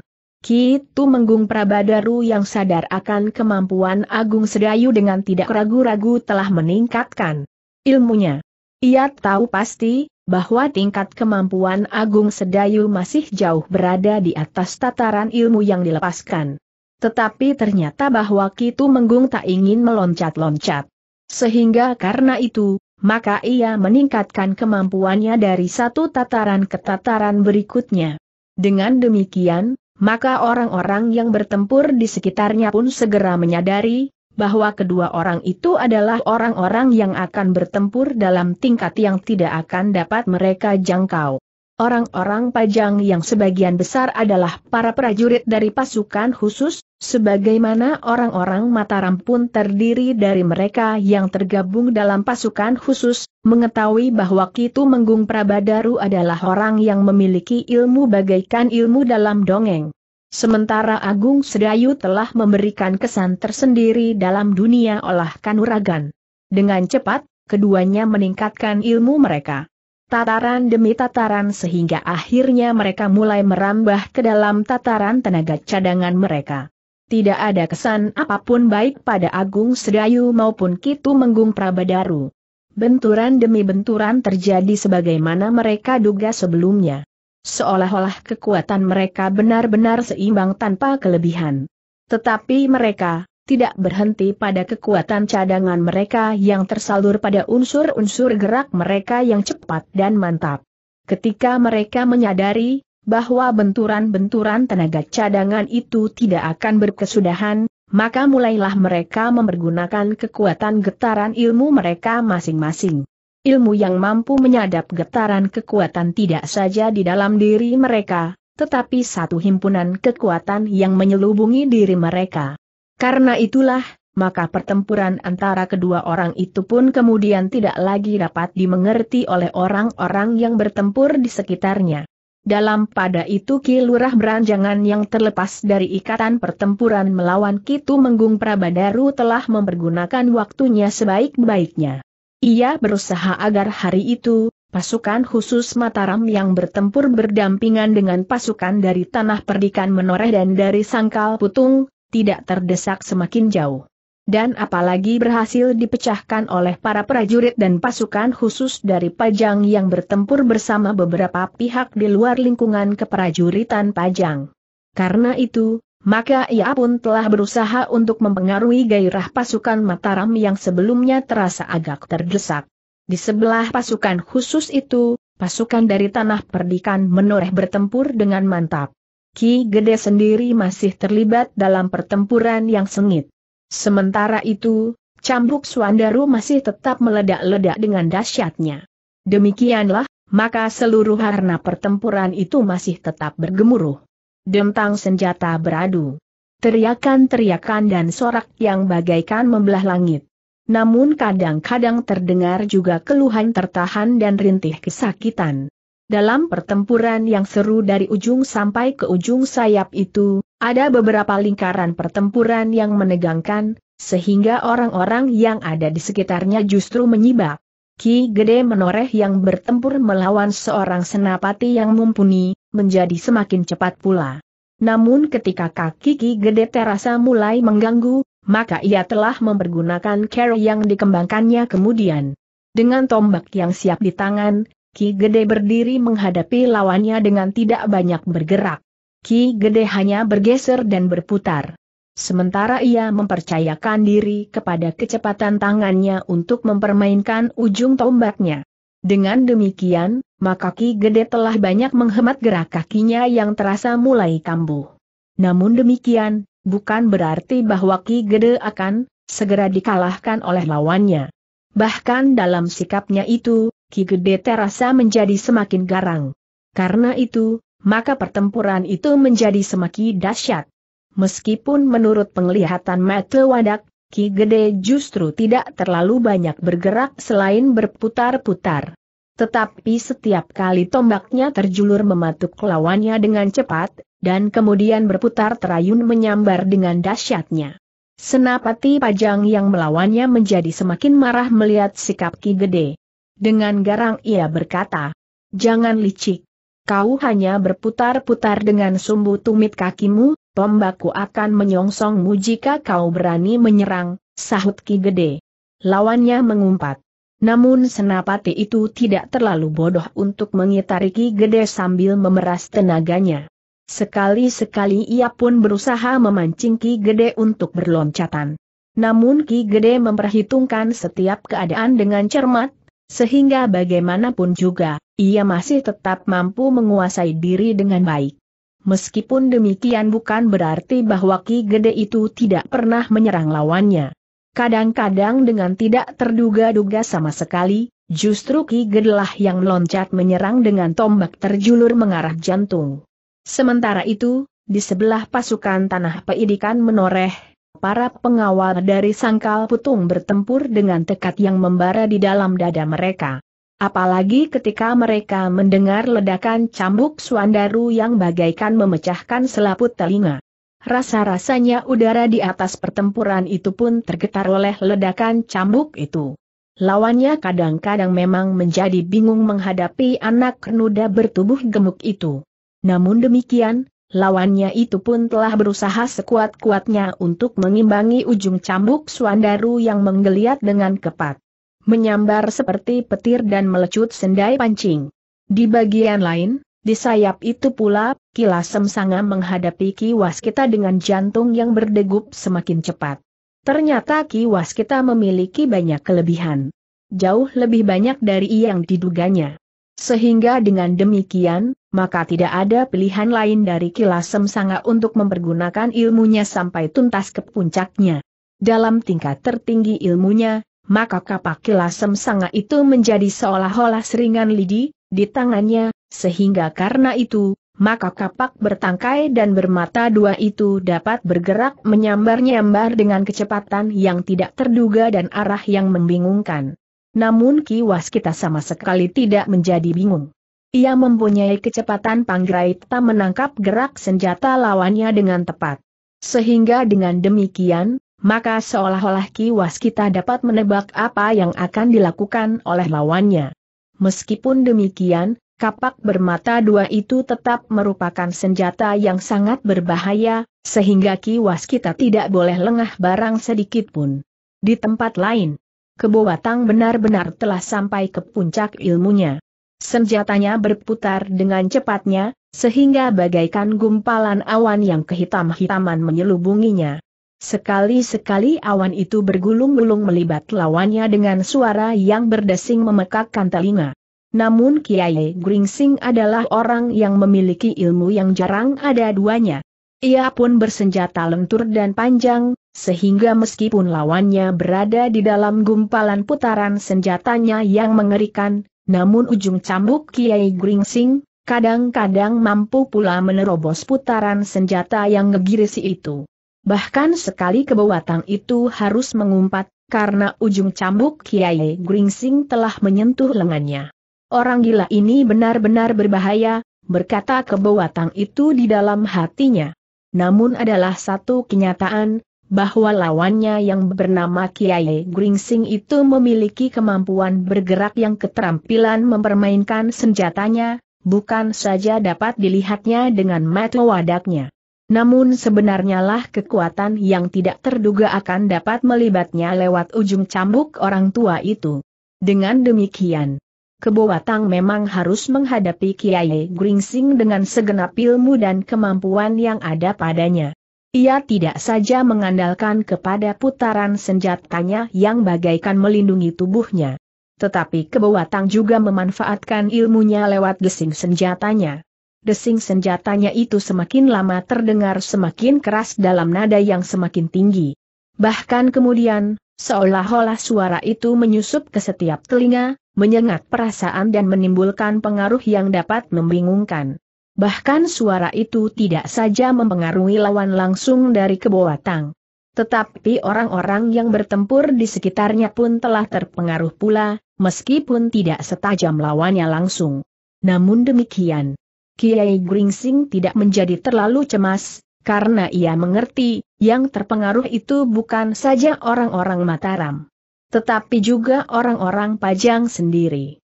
Sementara itu, ia sendiri harus berusaha untuk melenyapkan pengaruh itu atas dirinya. Tetapi ternyata tidak terlalu sulit bagi Kiai Gringsing untuk mengatasi pengaruh suara itu. Dengan kemampuan ilmunya, Kiai Gringsing tidak saja mampu menyumbat telinga wadaknya. Tetapi karena serangan suara berdesing itu juga menyentuh langsung telinga hatinya, maka Kiai Gringsing pun harus berusaha menyambutnya pula. Namun dalam pada itu, orang-orang yang bertempur di sekitar Kiai Gringsing dan Kebawatang itu dengan sendirinya telah menyibak semakin jauh. mereka merasakan telinga mereka bagaikan melekat pada sebuah sendaran yang sedang mengaung. Bukan saja telinga mereka terasa sakit, tetapi rasa-rasanya mereka pun menjadi kebingungan dan kehilangan akal. Tetapi dengan bergeser menjauh, maka suara yang menyakitkan telinga dan membuat mereka kebingungan itu terdengar menjadi semakin lemah, sehingga mereka mampu memusatkan kembali perhatian mereka kepada lawan-lawan mereka. Tidak ada gunanya kisanak, berkata Kiai Gringsing. Persetan, geram kebawatang yang memutar senjatanya semakin keras. Jika kau bermaksud mempengaruhi perlawanan orang-orang Mataram, maka hal itu tidak akan berarti, karena orang-orang Pajang sendiri akan menjadi kebingungan, berkata Kiai Gringsing pula. Kau mencari cara untuk menyelamatkan dirimu. Jangan berharap Semakin lama kau akan semakin kehilangan atas pengamatanmu terhadap dirimu sendiri. Terhadap perasaan dan nalarmu. Terhadap kesadaranmu. Dalam keadaan yang demikian, maka kau akan menjadi lumat oleh senjataku.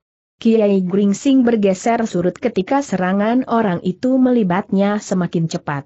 Namun dalam pada itu, suara berdesing itu pun seakan-akan menjadi semakin keras pula. Bukan main, geram Kiai Gringsing. Sementara itu, orang-orang Mataram dan orang-orang Pajang pun telah bergeser semakin jauh, sehingga Kiai Gringsing dan Kebawatang itu mendapat tempat yang cukup luas untuk bertempur dengan senjata yang agak lain dengan senjata-senjata yang kebanyakan dipergunakan di peperangan.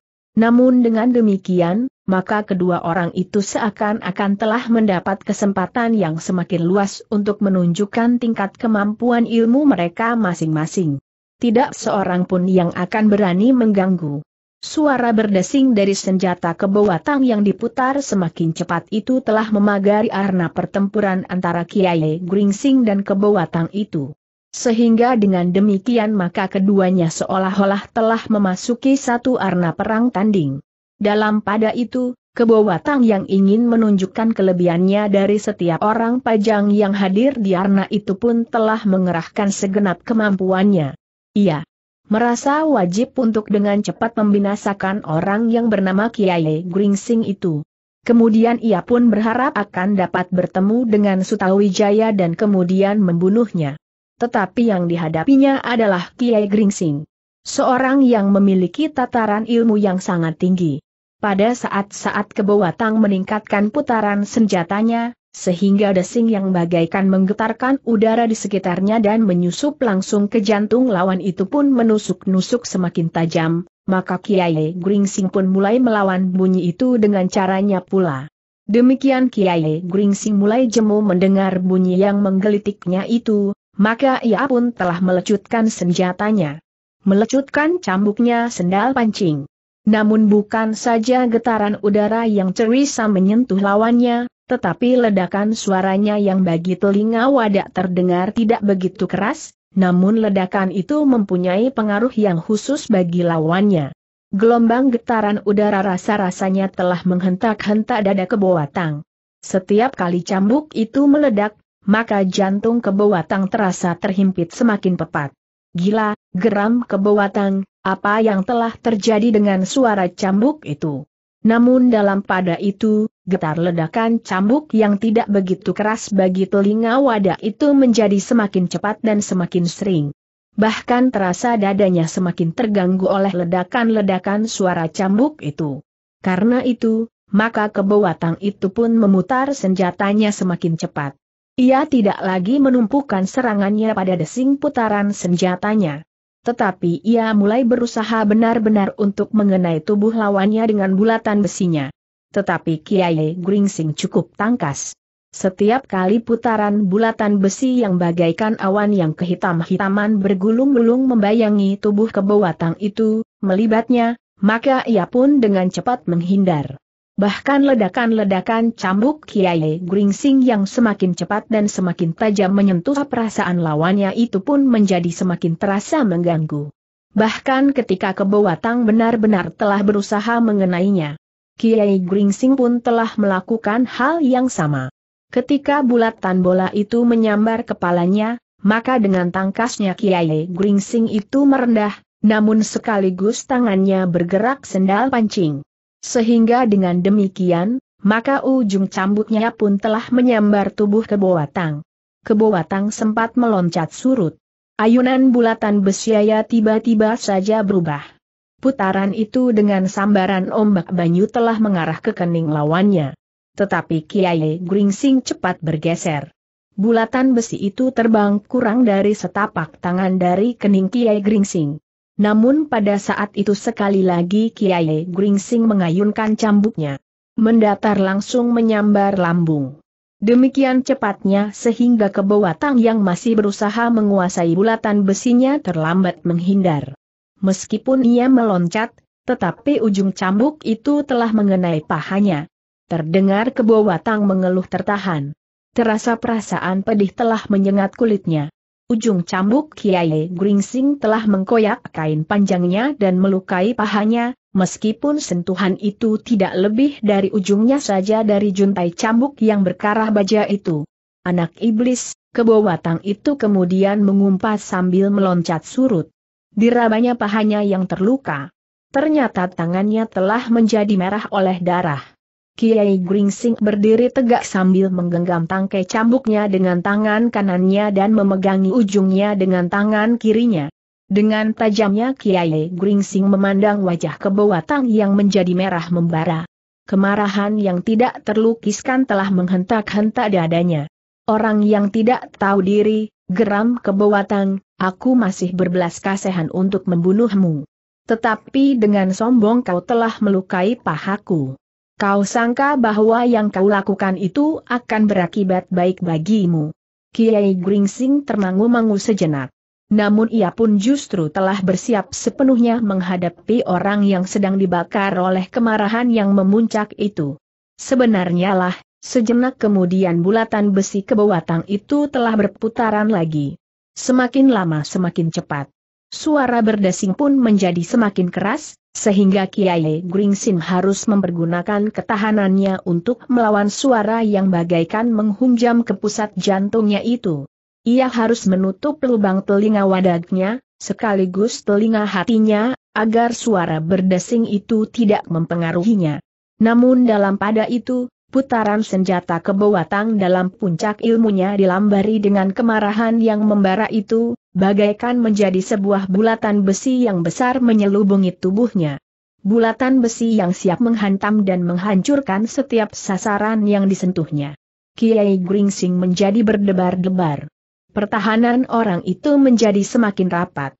Dengan demikian, maka akan semakin sulitlah baginya untuk dapat menyerang dan apalagi melukai orang itu. Meskipun paha orang itu sudah menitikan darah, tetapi agaknya sama sekali tidak berpengaruh bagi kegarangannya. Untuk sesaat Kiai Gringsing hanya dapat bergeser surut.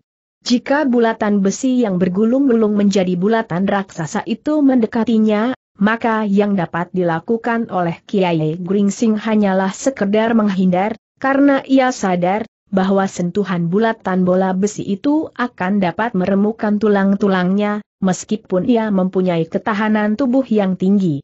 Namun dalam pada itu, Kiai Gringsin akhirnya tidak dapat terus-menerus berkisar dan bergeser surut. Ia harus berbuat sesuatu untuk mencoba memecahkan gumpalan bulatan besi baja yang bergulung-gulung itu. Sambil berkisar menghindarkan diri, Kiai Gringsing memusatkan kekuatannya pada cambuknya. Bukan saja kekuatan wadaknya, tetapi kekuatan ilmunya telah berhimpun pada tangan kanannya, menelusuri cambuknya. Sejenak kemudian, maka Kiai Gringsing telah berdiri tegak memandang bulatan bola besi yang berputaran mendekatinya. Semakin dekat bulatan besi yang bergulung-gulung mengerikan itu, tangan Kiai Gringsing pun menjadi semakin bergetar. Ia bertekad untuk membenturkan kekuatan ilmunya dengan kekuatan ilmu kebawatang.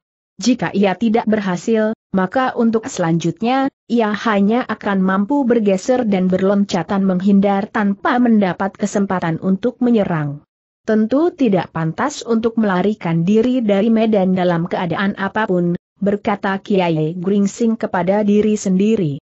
Sejenak kemudian, maka senjata kebawatang yang berputaran itu menjadi semakin dekat. tetapi Kiai Gringsing tidak bergeser menjauh. Namun tiba-tiba saja, ia telah mengangkat cambuknya dengan mengerahkan segenap kemampuan ilmunya. Demikian senjata kebawatang itu menyerangnya, maka Kiai Gringsing telah menghentakkan cambuknya menghantam putaran senjata kebawatang itu. Sekejap kemudian, terjadilah benturan ilmu yang sangat dahsyat. Ujung cambuk Kiai Gringsing yang dihentakkan dengan puncak ilmunya, telah menghantam bulatan besi kebawatang yang berputar mengerikan. Ternyata bahwa Kiai Gringsing memiliki selapis kelebihan dari kebawatang. Hentakan cambuknya telah memecahkan putaran senjata kebawatang itu, sehingga untuk sesaat, bulatan besi itu bagaikan kehilangan kendali putaran. Bahkan hampir saja bulatan besi yang membentur ilmu Kiai Gringsing pada hentakan cambuknya itu melenting menyambar kepala kebawatang sendiri. Kebawatang terkejut bukan buatan. Dengan jantung yang berdegupan, ia berusaha untuk menguasai senjatanya yang melenting. Namun dalam pada itu, Kiai Gringsing tidak membiarkan kesempatan itu. Dengan serta-merta ia pun telah meloncat menyerang. Sekali lagi cambuknya menghentak. Tidak membentur putaran senjata kebawatang, tetapi langsung mengarah ke tubuhnya. Kebawatang masih berusaha untuk menghindar. Dengan loncatan panjang ia bergeser ke samping. Namun dalam pada itu, Kiai Gringsing telah memburunya.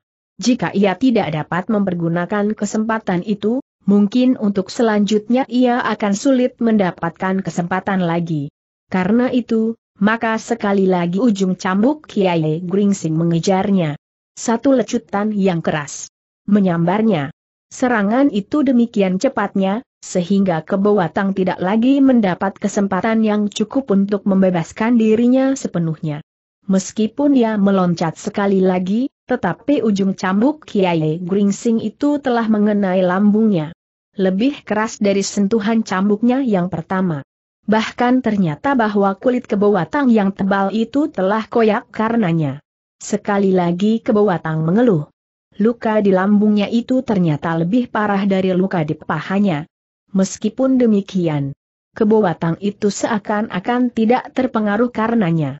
Terdengar kebawatang itu berteriak keras-keras, sambil memandang Kiai Gringsing dengan api kemarahan yang membakar isi dadanya. Meskipun darah kemudian meleleh juga dari luka di lambungnya itu, namun kebawatang sama sekali tidak terpengaruh, ia masih tetap garang, dan bahkan bulatan besinya itu berputaran lebih cepat, sehingga suara berdesing itu pun lebih tajam menusuk telinga. Telinga wadaknya dan telinga hatinya. Bahkan didorong oleh kemarahan yang semakin membakar jantung, desing itu bagaikan ujung-ujung jarum yang menusuk dinding perasaan Kiai Gringsing. Tetapi dengan segenap kemampuan ilmunya, Kiai Gringsing berusaha untuk tidak atau setidak-tidaknya mengurangi pengaruh desing bulatan besi kebawatang yang berputar semakin cepat. Bukan main, desis Kiai Gringsing, dalam keadaan luka itu masih seperti kerasukan iblis. Namun Kiai Gringsing telah menjadi semakin mapan. Ia sadar, bahwa benturan kekuatan ilmu di antara mereka, akan menguntungkan bagi Kiai Gringging. Karena itu, ketika gumpalan putaran senjata kebawatang datang bergulung menghampirinya, maka Kiai Gringsing pun telah mempersiapkan diri. Ia ingin sekali lagi membenturkan ilmunya. Dengan cambuknya ia ingin memecahkan putaran senjata lawannya. Dalam pada itu, di tempat lain, Ki Waskita bertempur dengan segenap kemampuannya pula. Dalam keadaan yang terdesak, maka Ki Waskita harus mengambil sikap. Ternyata bahwa pedangnya tidak dapat dipergunakan sebagaimana ia mempergunakan ikat pinggangnya. Meskipun pedang itu dalam wujud lahiriahnya memiliki kelebihan dari sekedar ikat pinggang kulit. Tetapi ikat pinggang kiwas kita bukan kebanyakan ikat pinggang. Karena itu, ketika kapak bermata dua kilasem sanga memburunya, serta pedangnya tidak lagi sanggup dengan mantap menahan serangan-serangan yang dilambari ilmu yang tinggi itu, maka kiwas kita justru telah bergeser dan kemudian meloncat surut. Dengan cepat ia melepaskan ikat pinggangnya dan justru melemparkan pedangnya. Hi, kau menyerah bertanya Kilasem Sanga. Tidak, jawab Ki Waskita. Kenapa? kau melepaskan senjatamu bertanya Kilasem sangat pula. Ki Waskita menggeleng. Jawabnya, kau salah menafsirkan sikapku. Tetapi itu wajar, karena aku memang melemparkan pedang itu. Tetapi bagiku pedang itu memang tidak berarti apa-apa. Jika aku berkeras bertempur dengan pedang itu maka pada suatu saat pedangku tentu akan patah. Kapakmu adalah senjata yang luar biasa, terbuat dari baja yang pilihan. Sedang pedang yang aku pergunakan adalah pedang yang tidak berarti apa-apa. Lalu kau akan mempergunakan senjata yang mana? Bertanya Kilasem Sanga melihat Ki Waskita memegangi ikat pinggangnya. Ini adalah senjataku yang terbiasa aku pakai, berkata Ki Waskita. Kilasem Sanga memandang lawannya dengan tatapan mata yang memancarkan berbagai pertanyaan. Ia sudah melihat ikat kepala lawannya yang membelit di pergelangan tangannya, yang ternyata memiliki kekuatan seperti perisai baja. Ikat pinggang kulit itu tentu juga mempunyai kekuatan iblis, berkata Kilasem sangat di dalam hatinya. Kesadaran itu membuatnya menjadi sangat berhati-hati. Bagainya pedang yang dipergunakan oleh lawannya sama sekali tidak menggetarkan jantungnya. Namun ketika ia melihat ikat pinggang yang menurut penglihatan mata wadaknya hanya terbuat dari kulit itu, ia menjadi berdebar-debar. Ikat pinggang itu tentu memiliki kekuatan seperti yang terdapat dalam ikat kepalanya. Kekuatan asing yang tidak mudah untuk dimengerti. Dalam pada itu, Ki Waskita pun segera mempersiapkan diri. Dengan ikat pinggang di tangannya, maka sikapnya menjadi lebih mantap. Marilah kisanak, berkata Ki Waskita, kita akan melanjutkan permainan kita. Kilasem Sanga menggeram. Namun kemudian kapaknya yang bertangkai sepanjang tangkai tombak pendek ilu pun mulai terayun-ayun. Dengan nada datar ia menjawab, Baiklah, aku ingin melihat apa yang dapat kau lakukan dengan ikat pinggangmu itu. Ki Waskita tidak menjawab. Tetapi ia benar-benar sudah bersiap menghadapi segala kemungkinan. Sejenak kemudian, maka keduanya telah terlibat lagi ke dalam satu pertempuran yang sengit. Kapak Kilasem sangat rayun-ayun dengan dahsyatnya. Sekali menyambar mendatar, namun tiba-tiba berputar dan menghantam ke arah kepala lawannya tegak lurus dari atas. Namun Ki Waskita telah berada dalam puncak kemampuannya, serta senjatanya yang sebenarnya telah dipergunakannya pula. Tetapi Ki Waskita sama sekali tidak berniat untuk melontarkan bentuk-bentuk semu yang akan dapat mempengaruhi lawannya, karena Ki Waskita tahu benar bahwa lawannya tidak akan terpengaruh karenanya. Lawannya akan dengan mudah dapat membedakan, yang manakah bentuk semu dan yang manakah yang sebenarnya. Sekali-sekali memang timbul niatnya untuk mempengaruhi seluruh medan dengan bentuk-bentuk semu. Seandainya beberapa orang pemimpin dan senapati pajang mampu melihat bentuk-bentuk itu, namun prajurit kebanyakan akan sulit membedakannya tetapi niat itu diurungkannya. Katanya di dalam hati, aku tidak akan melakukan kesombongan itu di hadapan Kang Jeng Sultan sendiri, yang meskipun belum langsung turun ke medan. Bahkan mungkin aku akan memancing persoalan yang sebenarnya tidak perlu terjadi. Dengan demikian, maka Ki Waskita memusatkan segenap ilmunya untuk menghadapi lawannya yang bersenjata kapak bermata rangkap dan bertangkai itu. Ternyata dengan ikat pinggangnya, Ki Waskita mampu memberikan perlawanan yang lebih baik dari sebelumnya. Ikat pinggangnya yang lentur memiliki kecepatan lebih baik menghadapi kapak bermata dua. Dengan ikat kepalanya ia menangkis serangan lawannya, kemudian dengan ikat pinggangnya ia menghentak menyerang lawannya. Meskipun ikat kepala itu nampaknya terbuat dari kulit, tetapi dengan dialiri kekuatan ilmunya, maka ikat kepala itu merupakan senjata yang sangat berbahaya. Dengan demikian, maka beberapa saat kemudian, ternyata bahwa Ki Waskita telah berhasil merubah keseimbangan pertempuran itu. Ia tidak lagi harus bergeser dan berloncatan menghindar, tetapi dengan ikat pinggangnya, ia justru lebih banyak menyerang. Bahkan pada suatu saat, Kilasem Sanga yang kehilangan kesempatan untuk menghindari serangan Kiwas kita, telah terkejut bukan buatan. Ketika ikat pinggang Kiwas kita menyentuh lengannya, ternyata lengannya telah tergores oleh sisi ikat pinggang itu. Dan goresan itu telah menimbulkan luka pada kulitnya sebagaimana kulitnya tersentuh pedang. Gila, geram kilasem sanga sambil meloncat surut. Kiwas kita tidak mengejarnya. Sambil berdiri tegak beberapa langkah dari kilasem sanga dipandanginya orang yang bersenjata kapak bermata dua dan bertangkai sepanjang tangkai tombak pendek itu. Kau memang mempunyai kekuatan iblis, geram kilasem sanga, ternyata bahwa kau mampu mempergunakan ikat pinggangmu melampaui pedang yang telah kau lemparkan itu. Kisanak. Jika pedang itu tentu akan patah membentur metu kapakmu yang terbuat dari baja pilihan itu, maka ikat pinggangku tidak akan demikian, jawab Ki Waskita. Tetapi ilmu iblismu dapat menjadikan ikat pinggangmu itu menjadi setajam pedang, geram kilasem sanga. Jangankan ikat pinggang, jawab Ki Waskita, sedangkan daun nilalang pun kadang-kadang dapat menjadi jari anak-anak yang sedang bermain-main. Kilasem Sanga mengangguk-angguk. Katanya, bagus. Kau benar. Dedaunan yang lemah dan tidak bertenaga itu dapat melukai kulit. Apalagi ikat pinggang kulitmu yang dialiri oleh ilmumu yang gegirisi. Kita memang sedang membenturkan ilmu, jawab kiwas kita. Kilasem Sanga mengangguk-angguk. Tetapi ia tidak berbicara lagi. Ia mulai menggerakkan kapak bermata duanya. Kiwas kita pun mulai mapan. Namun ia menjadi heran, luka di lengan kilasem sanga itu seakan-akan telah terhapus begitu saja. Sekali dua kali, kiwas kita memang melihat, telapak tangan lawannya itu mengusap lukanya.